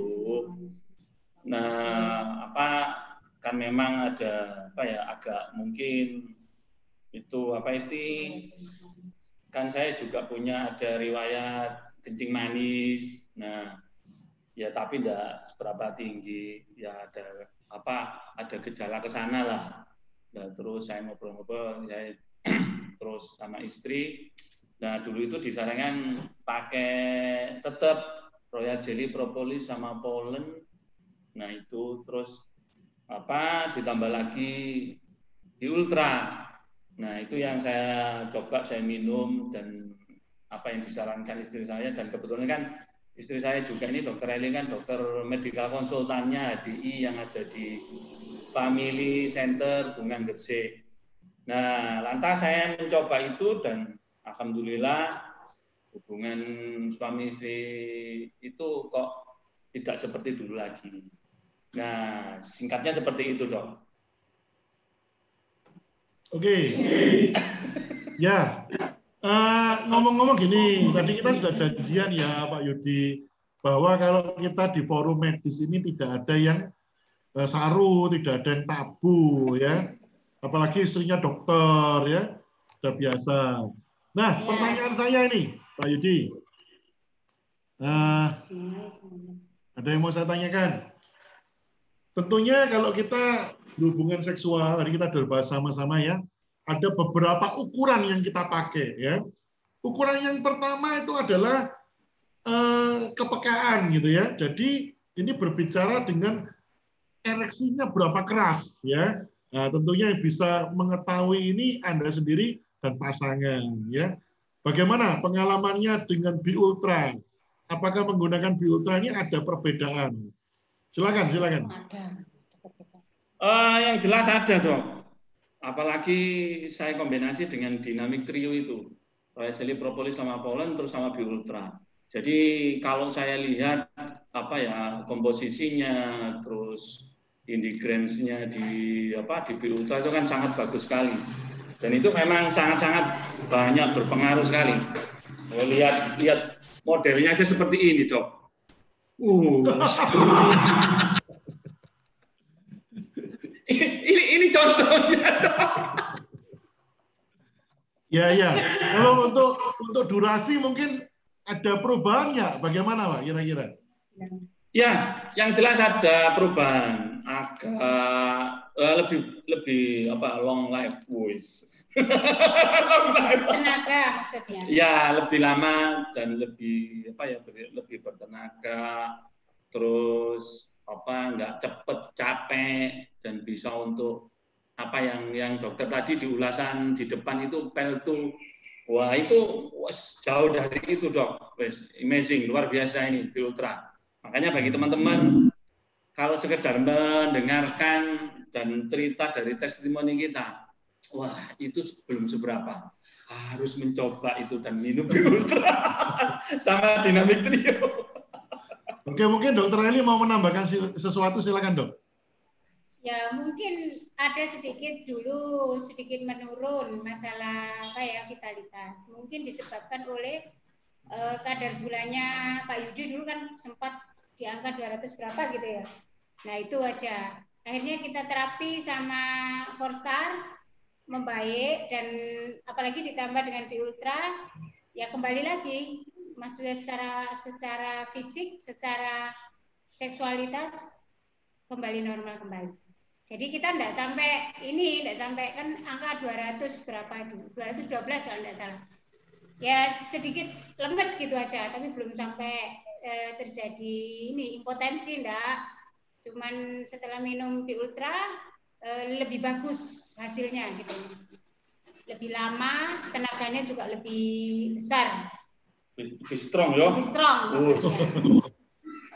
Oke, oke, lebih strong, luar biasa ya. Ya, terima kasih. Eh, tapi mungkin boleh saya tanya ya, Pak Yudi kan mengkonsumsi langsung ini ya. Eh, apakah ada mengalami efek samping sesuatu pada saat mengkonsumsi? Silakan. Eh, sempat eh, nggak ada sih, tapi kalau dengar cerita-cerita dari teman-teman kan ya maklum lah pada saat itu kan saya tidak ya apa ya ya ngobrol sama teman-teman terus ada yang menyarankan pakai V itu. Terus saya tidak coba langsung sih tapi saya tanya-tanya ke teman-teman yang lain juga. Jangan Pak. Jangan. Banyak yang apa ya menyarankan jangan karena ada efek samping yang bisa apa ke jantung agak berdebar. Nah, dari situ saya mulai menyimpulkan, wah berarti ini saya coba produknya HDI harus karena memang alami, nggak ada bahan-bahan kimia yang sintetik yang membahayakan. Dan memang saya tidak mau ber apa ya, mau coba-coba untuk produk yang lain, apalagi yang kimia sintetik yang kadang punya efek samping eh, jantung berdebar sampai detaknya itu keras. Nah, itu itu cerita sharing-sharing dari teman-teman se apa ya di luaran sana. Nah, jadi ya tetap saya tidak mau pakai saran mereka, tapi tetap saya pakai apa ya di ultra pakai HDI.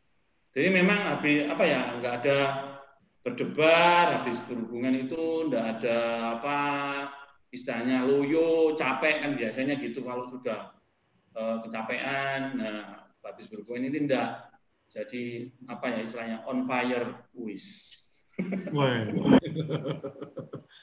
ya, luar biasa. Selamat ya Pak Yudi di 50 tahun ini berarti usia perkawinan sudah berapa ya? Berapa ya? berapa 22 22 tahun Eh, 23 23 tahun. Ya, dari 23 tahun usia pernikahan tambah semakin jos. Yang menurun tapi jos ya. Luar biasa. Ya, terima kasih Pak Yudi sama Dr. Eli yang sudah bersedia berbagi. Ya, semoga ini nanti juga menguatkan kita semua tentang Biultra. Ngomong-ngomong, saya juga mau sedikit kesaksian ini mengenai Biultra. Biultra pertama kali masuk di Indonesia, saya bersyukur sebagai salah satu eh,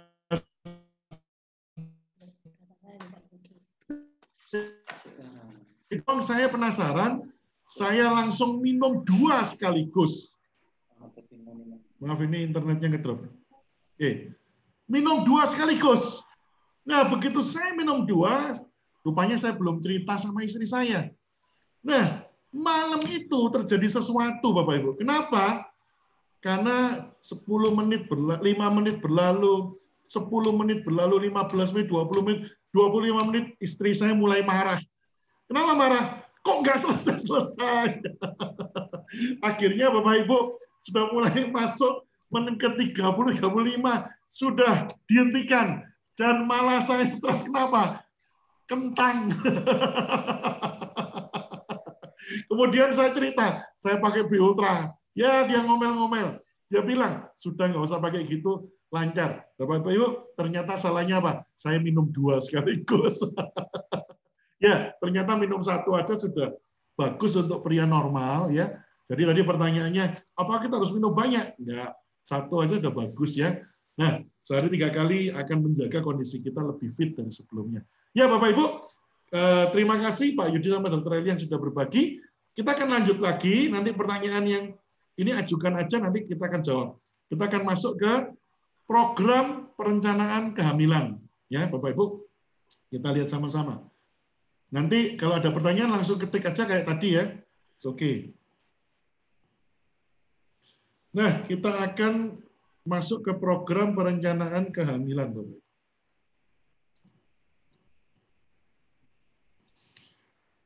Nah, yang pertama tentunya kita tidak lepas dari doa, Bapak Ibu. Satu yang setiap kali kita harus ngomong sama orang yang sedang program.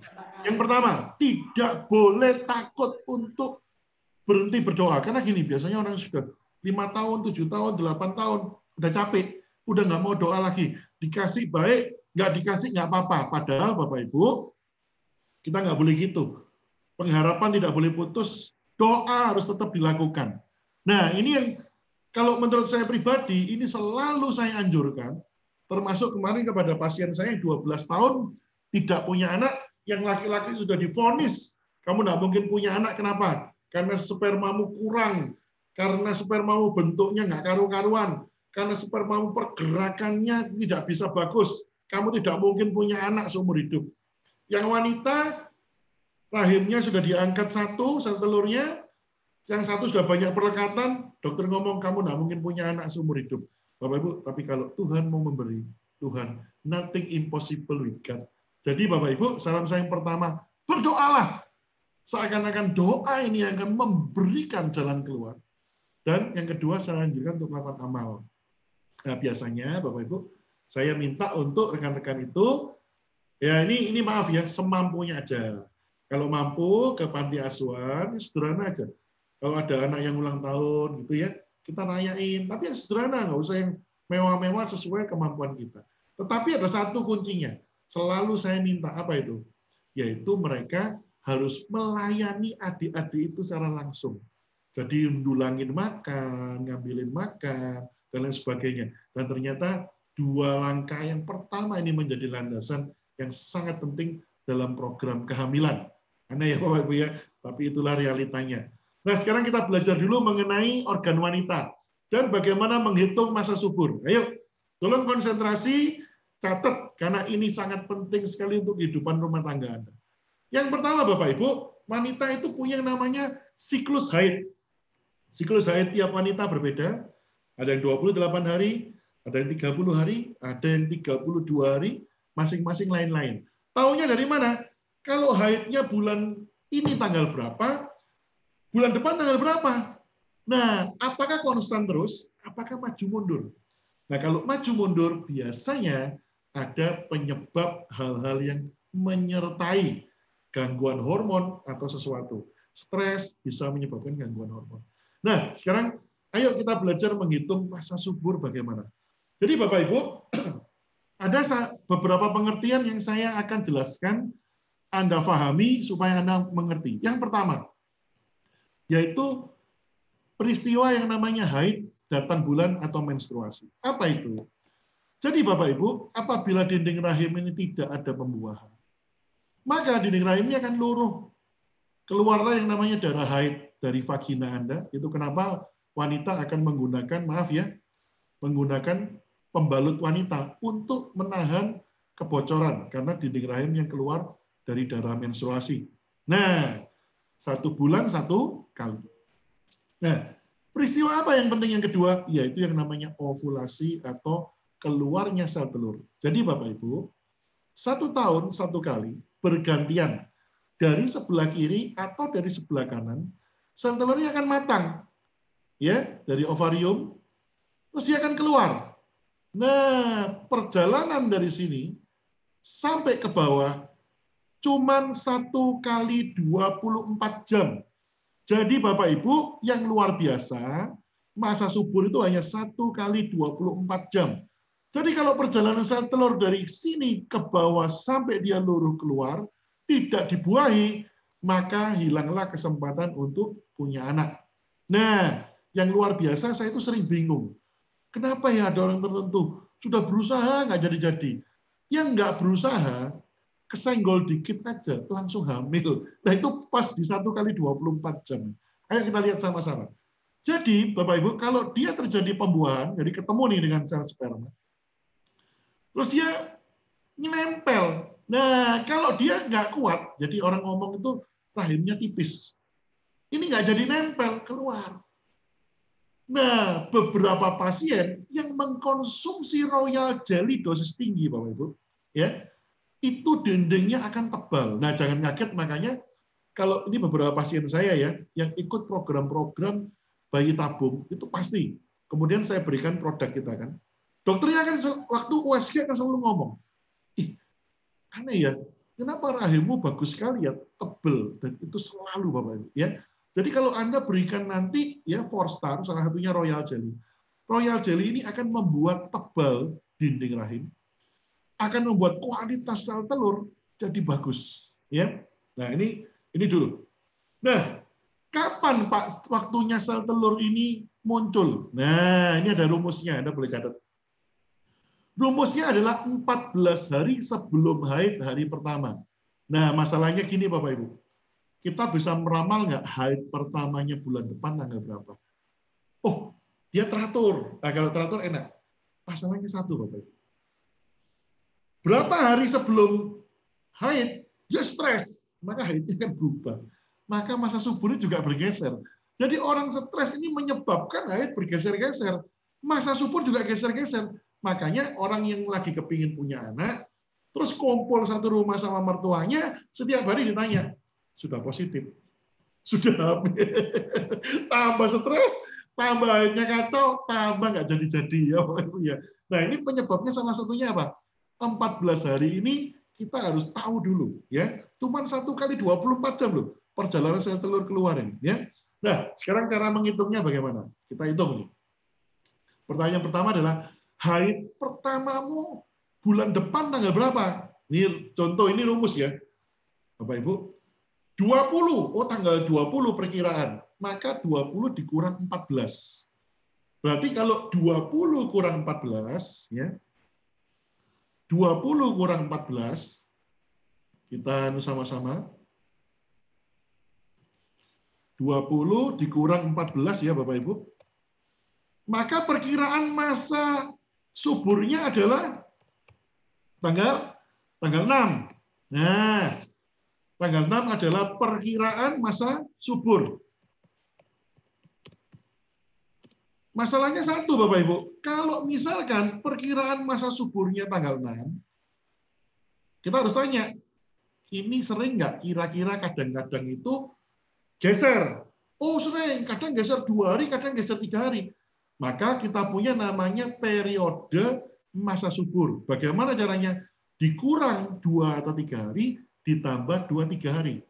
Berarti maka periode masa subur yang kalau kita mau target nih untuk dia bisa hasil adalah tanggal 6 dikurang 3 ditambah 2. Berarti tambah 3 dan kurang 3 misalkan ya. Tambah 3 dan kurang tiga. Maka hasilnya adalah dari tanggal berapa sampai tanggal berapa? Bapak Ibu. Dari tanggal 3 menuju tanggal 9 ya adalah periode masa subur. Nah, berarti apa Bapak Ibu? Selama tanggal 3 sampai 9 adalah periode masa subur. Nah, di hari-hari ini adalah yang paling penting. Perhatikan saya baik-baik. Ya. Nah, di hari-hari ini sangat spesial karena kita nggak pernah tahu tanggal 3, tanggal 4, tanggal 5, tanggal 6, tanggal 7, tanggal 8, tanggal 9, Yang mana satu kali 24 jam. Nah, Bapak Ibu berarti, ini perhatikan. Umur sperma, ya, umur sperma, sperma X adalah satu kali 24 jam. Jadi kalau Anda kepingin anak laki, ya, namanya orang pingin ya, waduh anak saya cewek semua. Saya kepingin laki. Gimana caranya? Berhubungannya tiap hari, tanggal 3, 4, 5, 6, 7, 8, 9. Kenapa? Karena kalau Anda berhubungannya nggak tiap hari, dapatnya sperma X. Sperma X umurnya tiga hari. Makanya ada yang tanya, lu anaknya dokter ini kok cewek semua? Karena saya nggak pernah program. Saya laki perempuan sama aja. Jadi saya nggak pernah program. Nah, bikin aja sesuka-suka saya. Tapi kalau Anda mau bikin program, maka kita punya panduan. Oh, ini ya. Nah, berikutnya, apalagi yang harus dilakukan Bapak Ibu? Nah, saya biasanya anjurkan pada pasien saya, itu dilakukan yang namanya posisi berhubungannya. Kita lihat sama-sama supaya kita dapat pemahaman yang sama ya.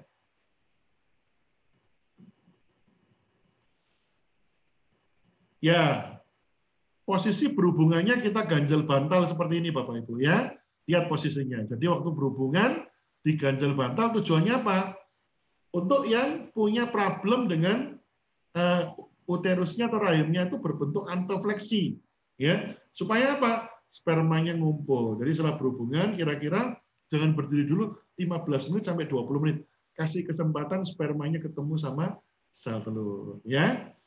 Wah dokter Ali, saya nggak kepingin laki-laki yang penting dikasih Tuhan dulu. Ya sudah, kalau gitu tanggal 3 sampai 9, kuatnya dua hari sekali apa tiga hari sekali. Suka-suka yang penting jadi.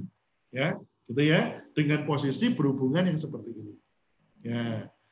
Kalau di sini ada rekan-rekan sejawat, dokter-dokter pasti akan menganjurkan melakukan pemeriksaan TORCH lebih dahulu. Ya, Jadi saya lihat ada dokter Nurul join. Ya.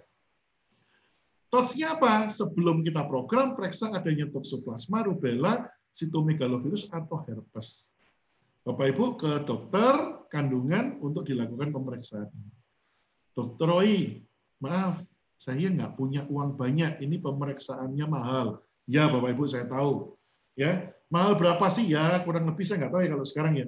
Terakhir saya tahu ini TORCH ini sekitar 2 sampai 3 juta ya kalau nggak salah ya pemeriksaannya lengkap ya. Tapi kalau sama hormon-hormon itu yang mahal. Sampai bisa sampai 5-10 juta kalau sama hormon-hormon lengkap ya. Nah, kalau saya gampang Bapak Ibu, saya akan tanya, sudah ada riwayat pernah hamil atau eh, sebulan terlambat gitu? Ada. Kalau ada, takutnya sudah ada infeksi. Nah, maka saya biasanya langsung kasih propolis atau propoelik langsung minum dua-dua doa satu botol sendiri suami, satu botol istri minum bersamaan. Jangan gini ya Bapak Ibu ya. Suami dulu, habis istri. Kenapa? Nanti terjadi pingpong. Pingpong itu gimana? Yang minum suaminya suami udah sembuh, istrinya baru minum ketularan ini sembuh lagi. Nah ini sama-sama nggak sembuh-sembuh. Nah jadi dua-dua minum bersama. Sebab kenapa? Kalau beberapa penyakit itu ada gejala Bapak Ibu, keputihan. Tapi kalau laki-laki itu tidak ada gejalanya. Jamur itu tidak ada gejalanya di laki-laki. Ya. Nah, toksoplasma juga tidak selalu ada gejala. Oleh karena itu, baru ketahuan setelah di lab atau sudah keguguran. Jadi kalau saya mau planning, oke, okay, yang pertama program doa, habis doa yang kedua saya detox dengan dosis ini. Forstarnya gimana Pak? Forstarnya juga tetap jalan, tapi propolisnya dan atau propoelik boleh milih ya suka-suka yang mana itu dengan dosis seperti ini. Nah, baru kemudian kalau masih ada trouble tidak ada salahnya kita cek syarat spermanya bagaimana ya. Jumlah sperma normal itu 15 sampai 20 juta per mili ya. Jadi kalau sekali berhubungan seksual itu bisa kurang lebih keluar 350 juta. Wah, itu satu penduduk Indonesia ya. Nah, Bentuknya normal bagaimana? Ini ada kepalanya, ada ekornya seperti ini, dan kepalanya bagus dan geraknya cepat. Ya, jadi kalau sampai ada kurang syarat, maka tidak bisa terpenuhi. Bagaimana dengan sel telurnya? Juga kualitasnya juga harus bagus, dinding rahimnya juga harus tebal, dan nutrisi yang bisa menunjang untuk fetus atau calon janin itu bertumbuh dengan baik. Jadi ini perlu kita perhatikan. Nah, makanya itu kita anjurkan yang namanya Forstart untuk memperbaiki metabolisme, memperbaiki kondisi energi untuk berhubungan, ya radikal bebas dan torsnya tadi didetok, ya meremajakan dan meregenerasi organ-organ vital, dan terutama untuk membantu hormon. Dan yang paling penting kita lanjutkan dengan B Ultra untuk kualitas sperma. Nah, jadi saya kembali lagi ya Bapak Ibu ya. Program kehamilan tadi tidak bisa hanya berbicara mengenai program saja. Kalian ada yang bertanya, dokter kalau gitu saya ingin KB kalender. Bagaimana ini? Ayo kita lihat sama-sama. Jadi Bapak Ibu, ayo kita lihat. Ternyata dalam 30 hari siklus, yang berbahaya itu hanya di masa subur di tengah-tengah siklus. Plus 2 plus 3 hari sebelumnya dan sesudahnya. Nah, jadi sebenarnya kalau KBR kalender sangat simpel. Berarti kalau Anda bermainnya seminggu sebelum haid dan seminggu sesudah haid, ini masih aman. Tapi di tengah-tengahnya semakin mendekati masa subur, semakin berbahaya. Berbahaya apa? Langsung disenggol, langsung positif lagi, hamil lagi. Jadi kalau kita bisa menghitung masa subur dengan baik, kita tahu tanpa perlu KB-KB yang mengganggu. Maaf ya, kadang kalau kita KB itu pakai pil, pakai suntik itu hormonnya terganggu. Muncul flek-flek, tambah gemuk dan lain sebagainya. Ada yang kalau mau pakai kondom, aduh nggak nyaman ya. Paling enak kalau anaknya sudah tiga atau empat sudah umur, langsung aja steril ya. Tapi kemarin teman saya steril, jahitannya lepas jadi anak kelima. ya, jadi itu overall Bapak Ibu daripada program kehamilan. Ya, semoga ini bisa membantu rekan-rekan yang lagi program untuk mengkonsumsi Forstar diajarkan tadi apa aja yang diajarkan tadi ya.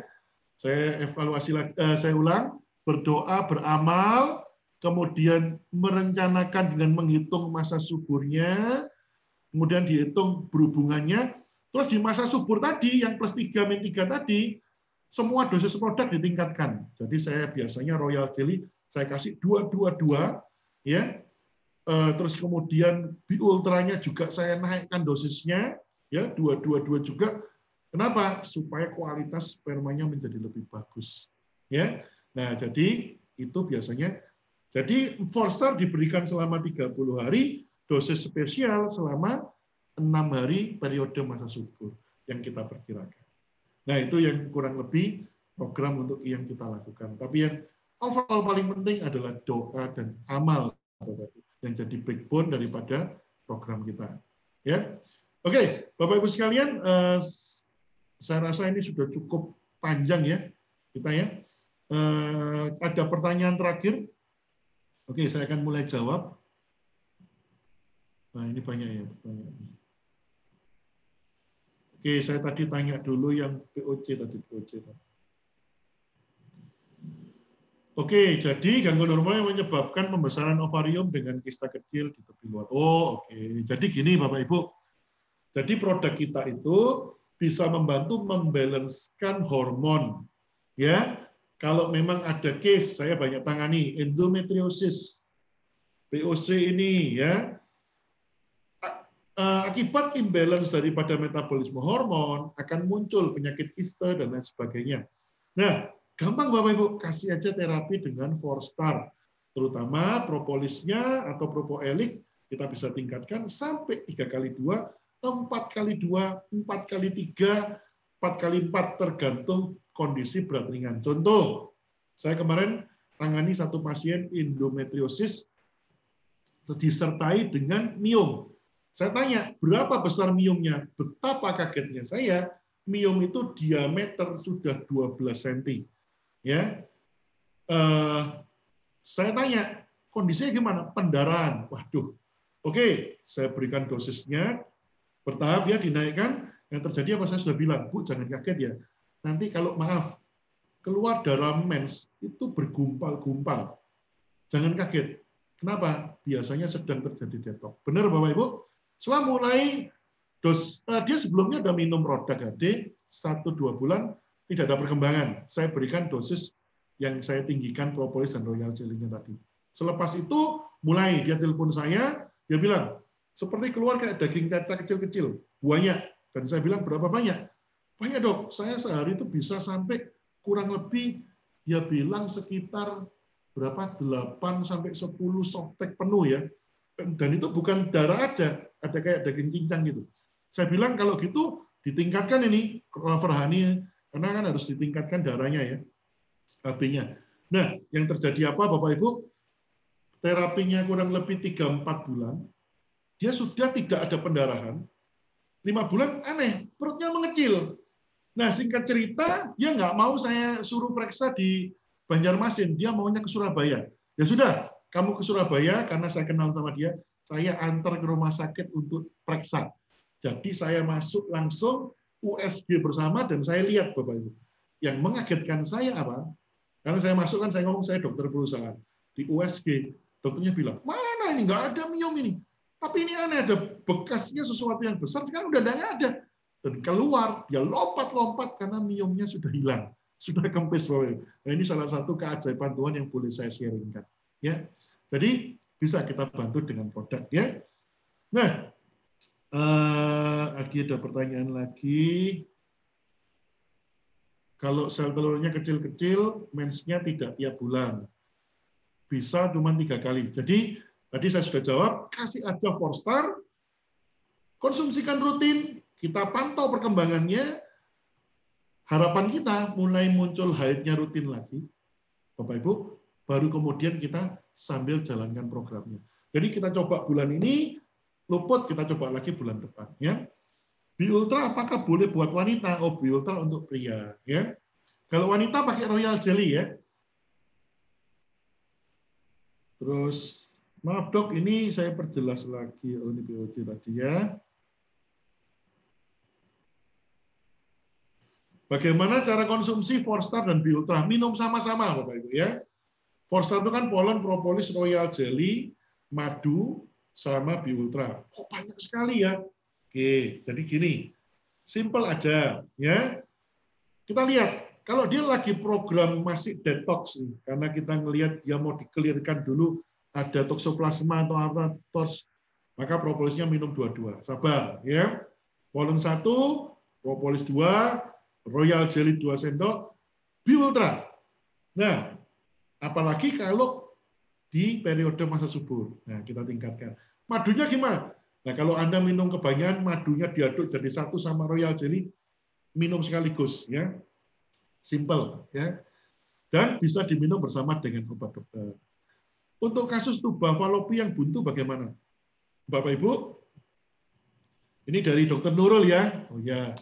Dok, gini, terapi tetap jalan seperti biasa dok. Kalau biasanya kan eh, dianjurkan untuk tiup atau apa ya, nggak apa-apa. Jalan aja prosedur eh, secara medis. Kita imbangi dengan Forstar dok. Nah, jadi jalan sama-sama. Karena produk kita tidak pernah mengganggu terapi dokter, tapi justru mensupport. Jadi kemarin ada pasien saya bayi tabung ketemu dengan saya. Ini ini saya singkat cerita ya. Saksian naik pesawat sebelah saya ada pasien istrinya lagi program bayi tabung yang kedua karena yang pertama gagal. Nah, terus saya bilang, saya cerita mengenai Forstar, dia tanya, boleh nggak dikasihkan? Tanya aja sama dokter yang merawat. Ternyata dokternya nggak dikasih vitamin apa-apa. Singkat cerita, boleh, dan begitu diberikan, dokternya kaget di USG. Wih, rahimmu tebal sekali, ya. Jadi bisa, ya, bisa dipakai sama-sama. Gitu ya, dokter. Nanti bisa dokter Nurul. Oke, Bapak Ibu masih ada mungkin yang mau bertanya atau mau ini mau tanya langsung ataupun ini saya beri kesempatan yang terakhir, pertanyaan terakhir. Atau ada yang juga mau bersaksi mengenai Bi Ultra atau mengenai produk kita.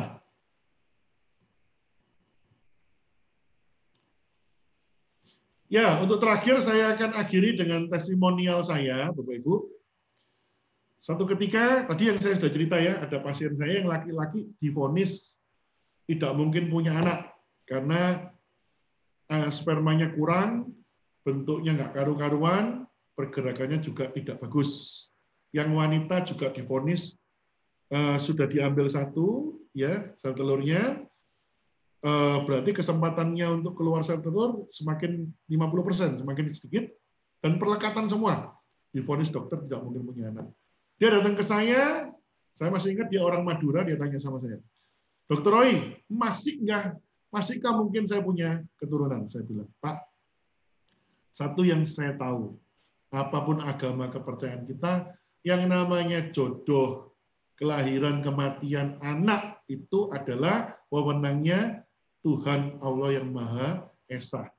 Nah, kita sebagai manusia syaratnya satu, harus berdoa sungguh-sungguh dan ikhtiar atau usaha. Mau? Oke. Singkat cerita, saya jelaskan tadi seperti yang saya ajarkan kepada Anda, dikonsumsi dan dicoba. Anda tahu apa yang terjadi? Bapak Ibu, bulan pertama tidak ada hasil. Dia telepon saya, saya bilang, Pak sabar ya, Anda lo sudah 12 tahun menikah. Masa sama saya sebulan udah nggak sabar. Oke, coba siklus bulan depan. Dicoba lagi Bapak Ibu, sampai ternyata orangnya sudah lu, eh, sayanya sudah lupa sama dia. Bulan ke-6, tiba-tiba telepon saya, saya masih ingat, saya di pesawat, telepon saya bunyi, saya angkat. Dokter Roy, dokter Roy gimana? Kenapa? Dia kirim tumpeng nasi kuning besar. Kenapa? Anak istrinya sudah hamil tiga bulan. Dia nggak berani ngomongin saya. Katanya orang Jawa itu, eh, orang Madura itu pamali kalau nanti belum positif sungguh sudah ngomong. Ternyata itu tiga bulan di USG sudah kelihatan anaknya, baru dia telepon saya. Dan Bapak Ibu, luar biasa, eh, lima tahun yang lalu saya ke Madura, saya ketemu dengan anaknya sudah besar. Ya, dan itu kejadian sudah kurang lebih sekitar 18 eh, tahun yang lalu. Dan saya bersyukur sekali, anaknya peluk saya, bapaknya ngomong gini, nah, ini kamu lahir karena Pak Dokter nih. Saya bilang, Pak, jangan gitu. Bukan, bukan karena saya. Nanti saya dituduh saya nyelingkuh istrinya gitu ya. Bergurau. Saya bilang itu kemurahan Tuhan. Kemurahan Tuhan yang menyebabkan melalui produk-produk tadi. Dan Bapak Ibu sekalian, Semoga kita semua di sini juga diizinkan menjadi perpanjangan tangan Tuhan untuk bisa membawa faedah buat orang-orang di sekitar kita. Jadi Bapak Ibu mungkin apabila ada punya teman, saudara yang punya problem, yang mungkin sudah lama kepingin punya keturunan atau yang ada gangguan problem baik hormon dan lain sebagainya, kita punya eh, doa dan kita bisa berikhtiar atau bersolusi. Yang terakhir Bapak Ibu, sebelum kita akhiri, saya mau tunjukkan sesuatu kepada Anda. Ya, ini buat Bapak Ibu sekalian yang tadi tanya, Dokter Roy, itu tadi eh, kalau saya mau lihat komposisinya, cara kerjanya, itu bagaimana? Nah, ini kita punya promo khusus, ya. Buku yang namanya Rahasia Kekayaan Alam. Nah, buku Rahasia Kekayaan Alam ini, Bapak Ibu, ini merupakan rangkuman daripada seluruh apa-apa yang uh, tadi kita bicarakan. Bagaimana cara kerjanya Forstar, ya, dosisnya bagaimana, kok bisa seperti ini kandungannya apa, itu ada semua. Ini buku wajib Anda harus punya, ya.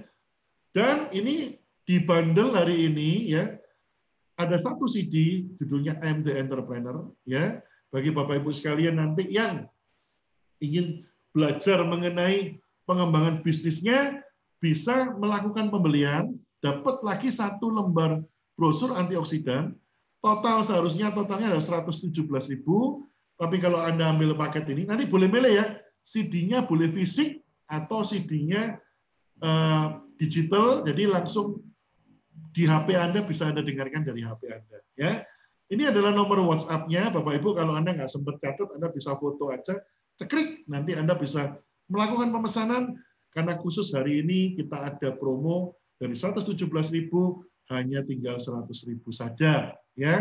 Jadi saya menganjurkan untuk Anda bisa mengambil paket promonya ya. Saya beri kesempatan bisa uh, dicatat, bisa di nih. Ya, sambil nunggu uh, ada yang lagi yang mau kesaksian mungkin sebelum saya akhiri ya.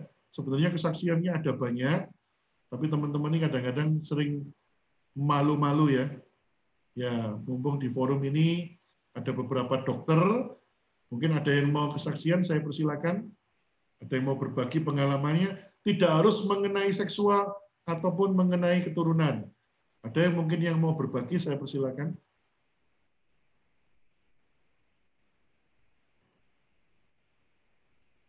Atau tadi Pak Anton mau kesaksian di Ultra ya, kesaksian Pak Anton. ya, Dokter Made, ini saya lihat ada Dokter Made. Dokter Made mungkin monitor.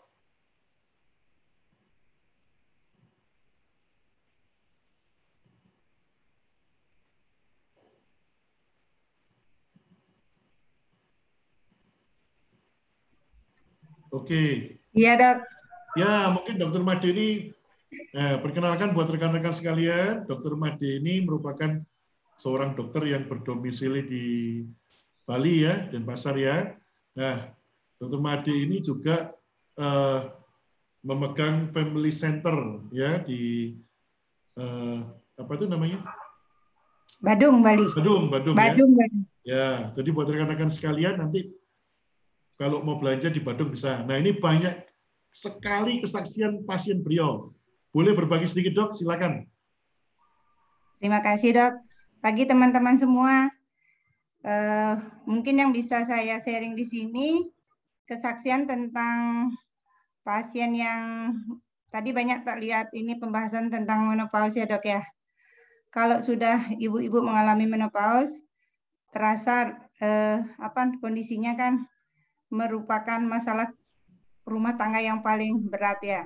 Nah, pasien saya ini seorang ini juga para medis yang di mana awalnya mereka itu biasanya dia memiliki berapa rumah kalau dia memang diminta untuk menjalankan kewajiban itu dia harus me, mem, mempersiapkan pelumas dulu dok atau jelly.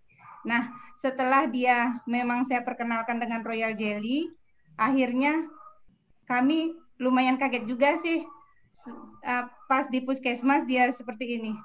Dok, dok, terima kasih banyak ya dok, berkat dokter akhirnya saya menjadi ibu rumah tangga yang sempurna kembali gitu. Saya kan kaget ini tak kasih apa, kok orang ini mendadak bilang terima kasih, terima kasih gitu. Ternyata dia bilang, dulu karena suaminya minta-minta, sekarang dia katanya ngejar suaminya dok. Nah mungkin mungkin itu lumayan bagi kita para ibu karena saya juga uh, mempunyai pengalaman yang berat uh, waktu SMA kayaknya itu ibu saya memang mengalami ekstraktomi. Nah, dengan kejadian seperti itu saya lihat ini kok kondisinya begini. Udah kan biasanya kalau ibu-ibu yang sudah tidak menstruasi lagi eh, sifat keibuannya itu sudah mulai berkurang, uring-uringan, cepat marah.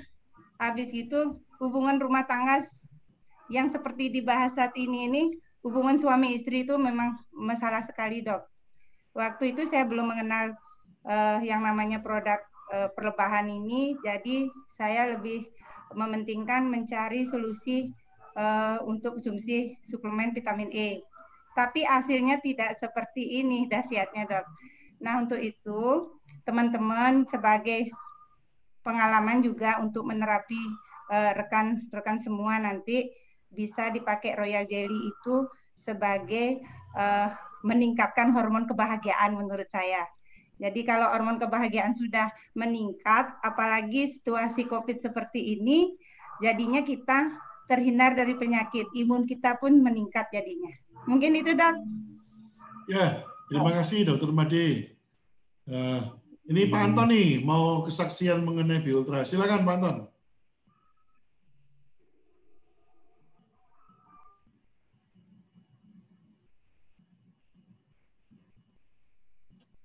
Halo. Ya, silakan. Halo. Udah ya, Pak Dokter? Sudah, sudah. Oh ya. Eh, kemarin saya punya teman-teman yang sudah memang menikah. Saya sendiri belum, tapi pernah nyoba sih. Waktu center Pekalongan itu di Kohari dikasih, ya saya nyoba. Ya nggak ada berefek apa-apa ya, karena tidak ada yang ditempur. Jadi ya biasa saja. Bukan seperti Viagra, memang katanya eh, seperti orang-orang kalau minum itu kan langsung teng gitu ya ya puji Tuhan teman-teman saya yang saya tawarin ya saya bilang saya nyoba tapi saya tidak berasa apa-apa nah kalau kamu mau coba banyak-banyak banyak dokter dan teman-teman saya yang sudah nyoba ya cobalah. Kalau nggak nyoba kan ibaratnya kan tidak mengerti bahwa produk B Ultra ini berkhasiat atau tidak. Saya bilang seperti itu. Nah, akhirnya juga mencoba beberapa orang dan puji Tuhan, Dok. Iya nih, bener nih. Oh, lumayan sih durasinya rada lama gitu, Dok. Nah, saya bilang kan oke okay kan, saya bilang masa saya mau bohong orang teman-teman saya sudah nyoba, saya bilang gitu ya. Akhirnya puji Tuhan repeat order, Dok. Terima kasih, Dok. Ya, thank you Pak Anton untuk sharingnya. Ini ada pertanyaan, minum Biultra kepalanya sakit.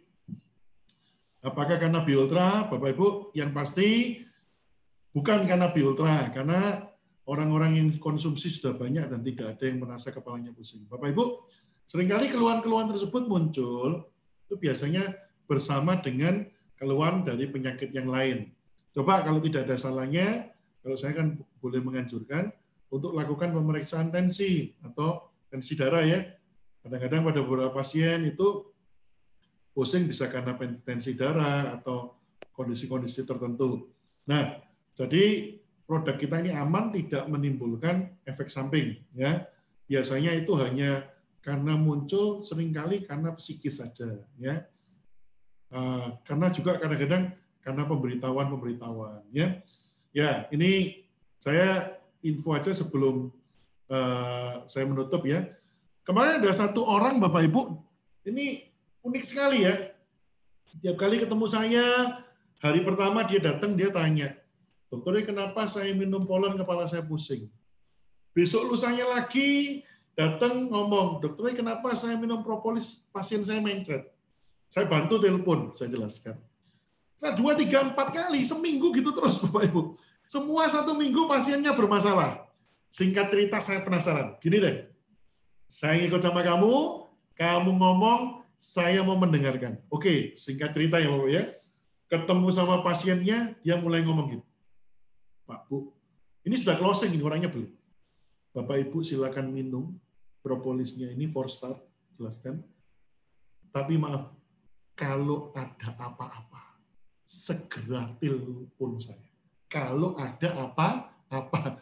Nah, selesai berapa kejadian itu yang terjadi apa? Mulai kan, habis minum, dirasa-rasain. Oh, pusing. Jangan-jangan karena itu. Oh, kepala percaya mulai. Jangan-jangan karena itu. Jadi Bapak Ibu, pulang dari sana, saya langsung tembak dia. Ngomong-ngomong, kamu sudah pernah minum produknya? Belum. Belum. Lah ya itu. Karena kamu belum minum produknya, makanya kamu nggak tahu. Langsung Bapak Ibu saya kasih, saya di pas saya biasanya ada pollen propolis, saya kasih dia suruh minum.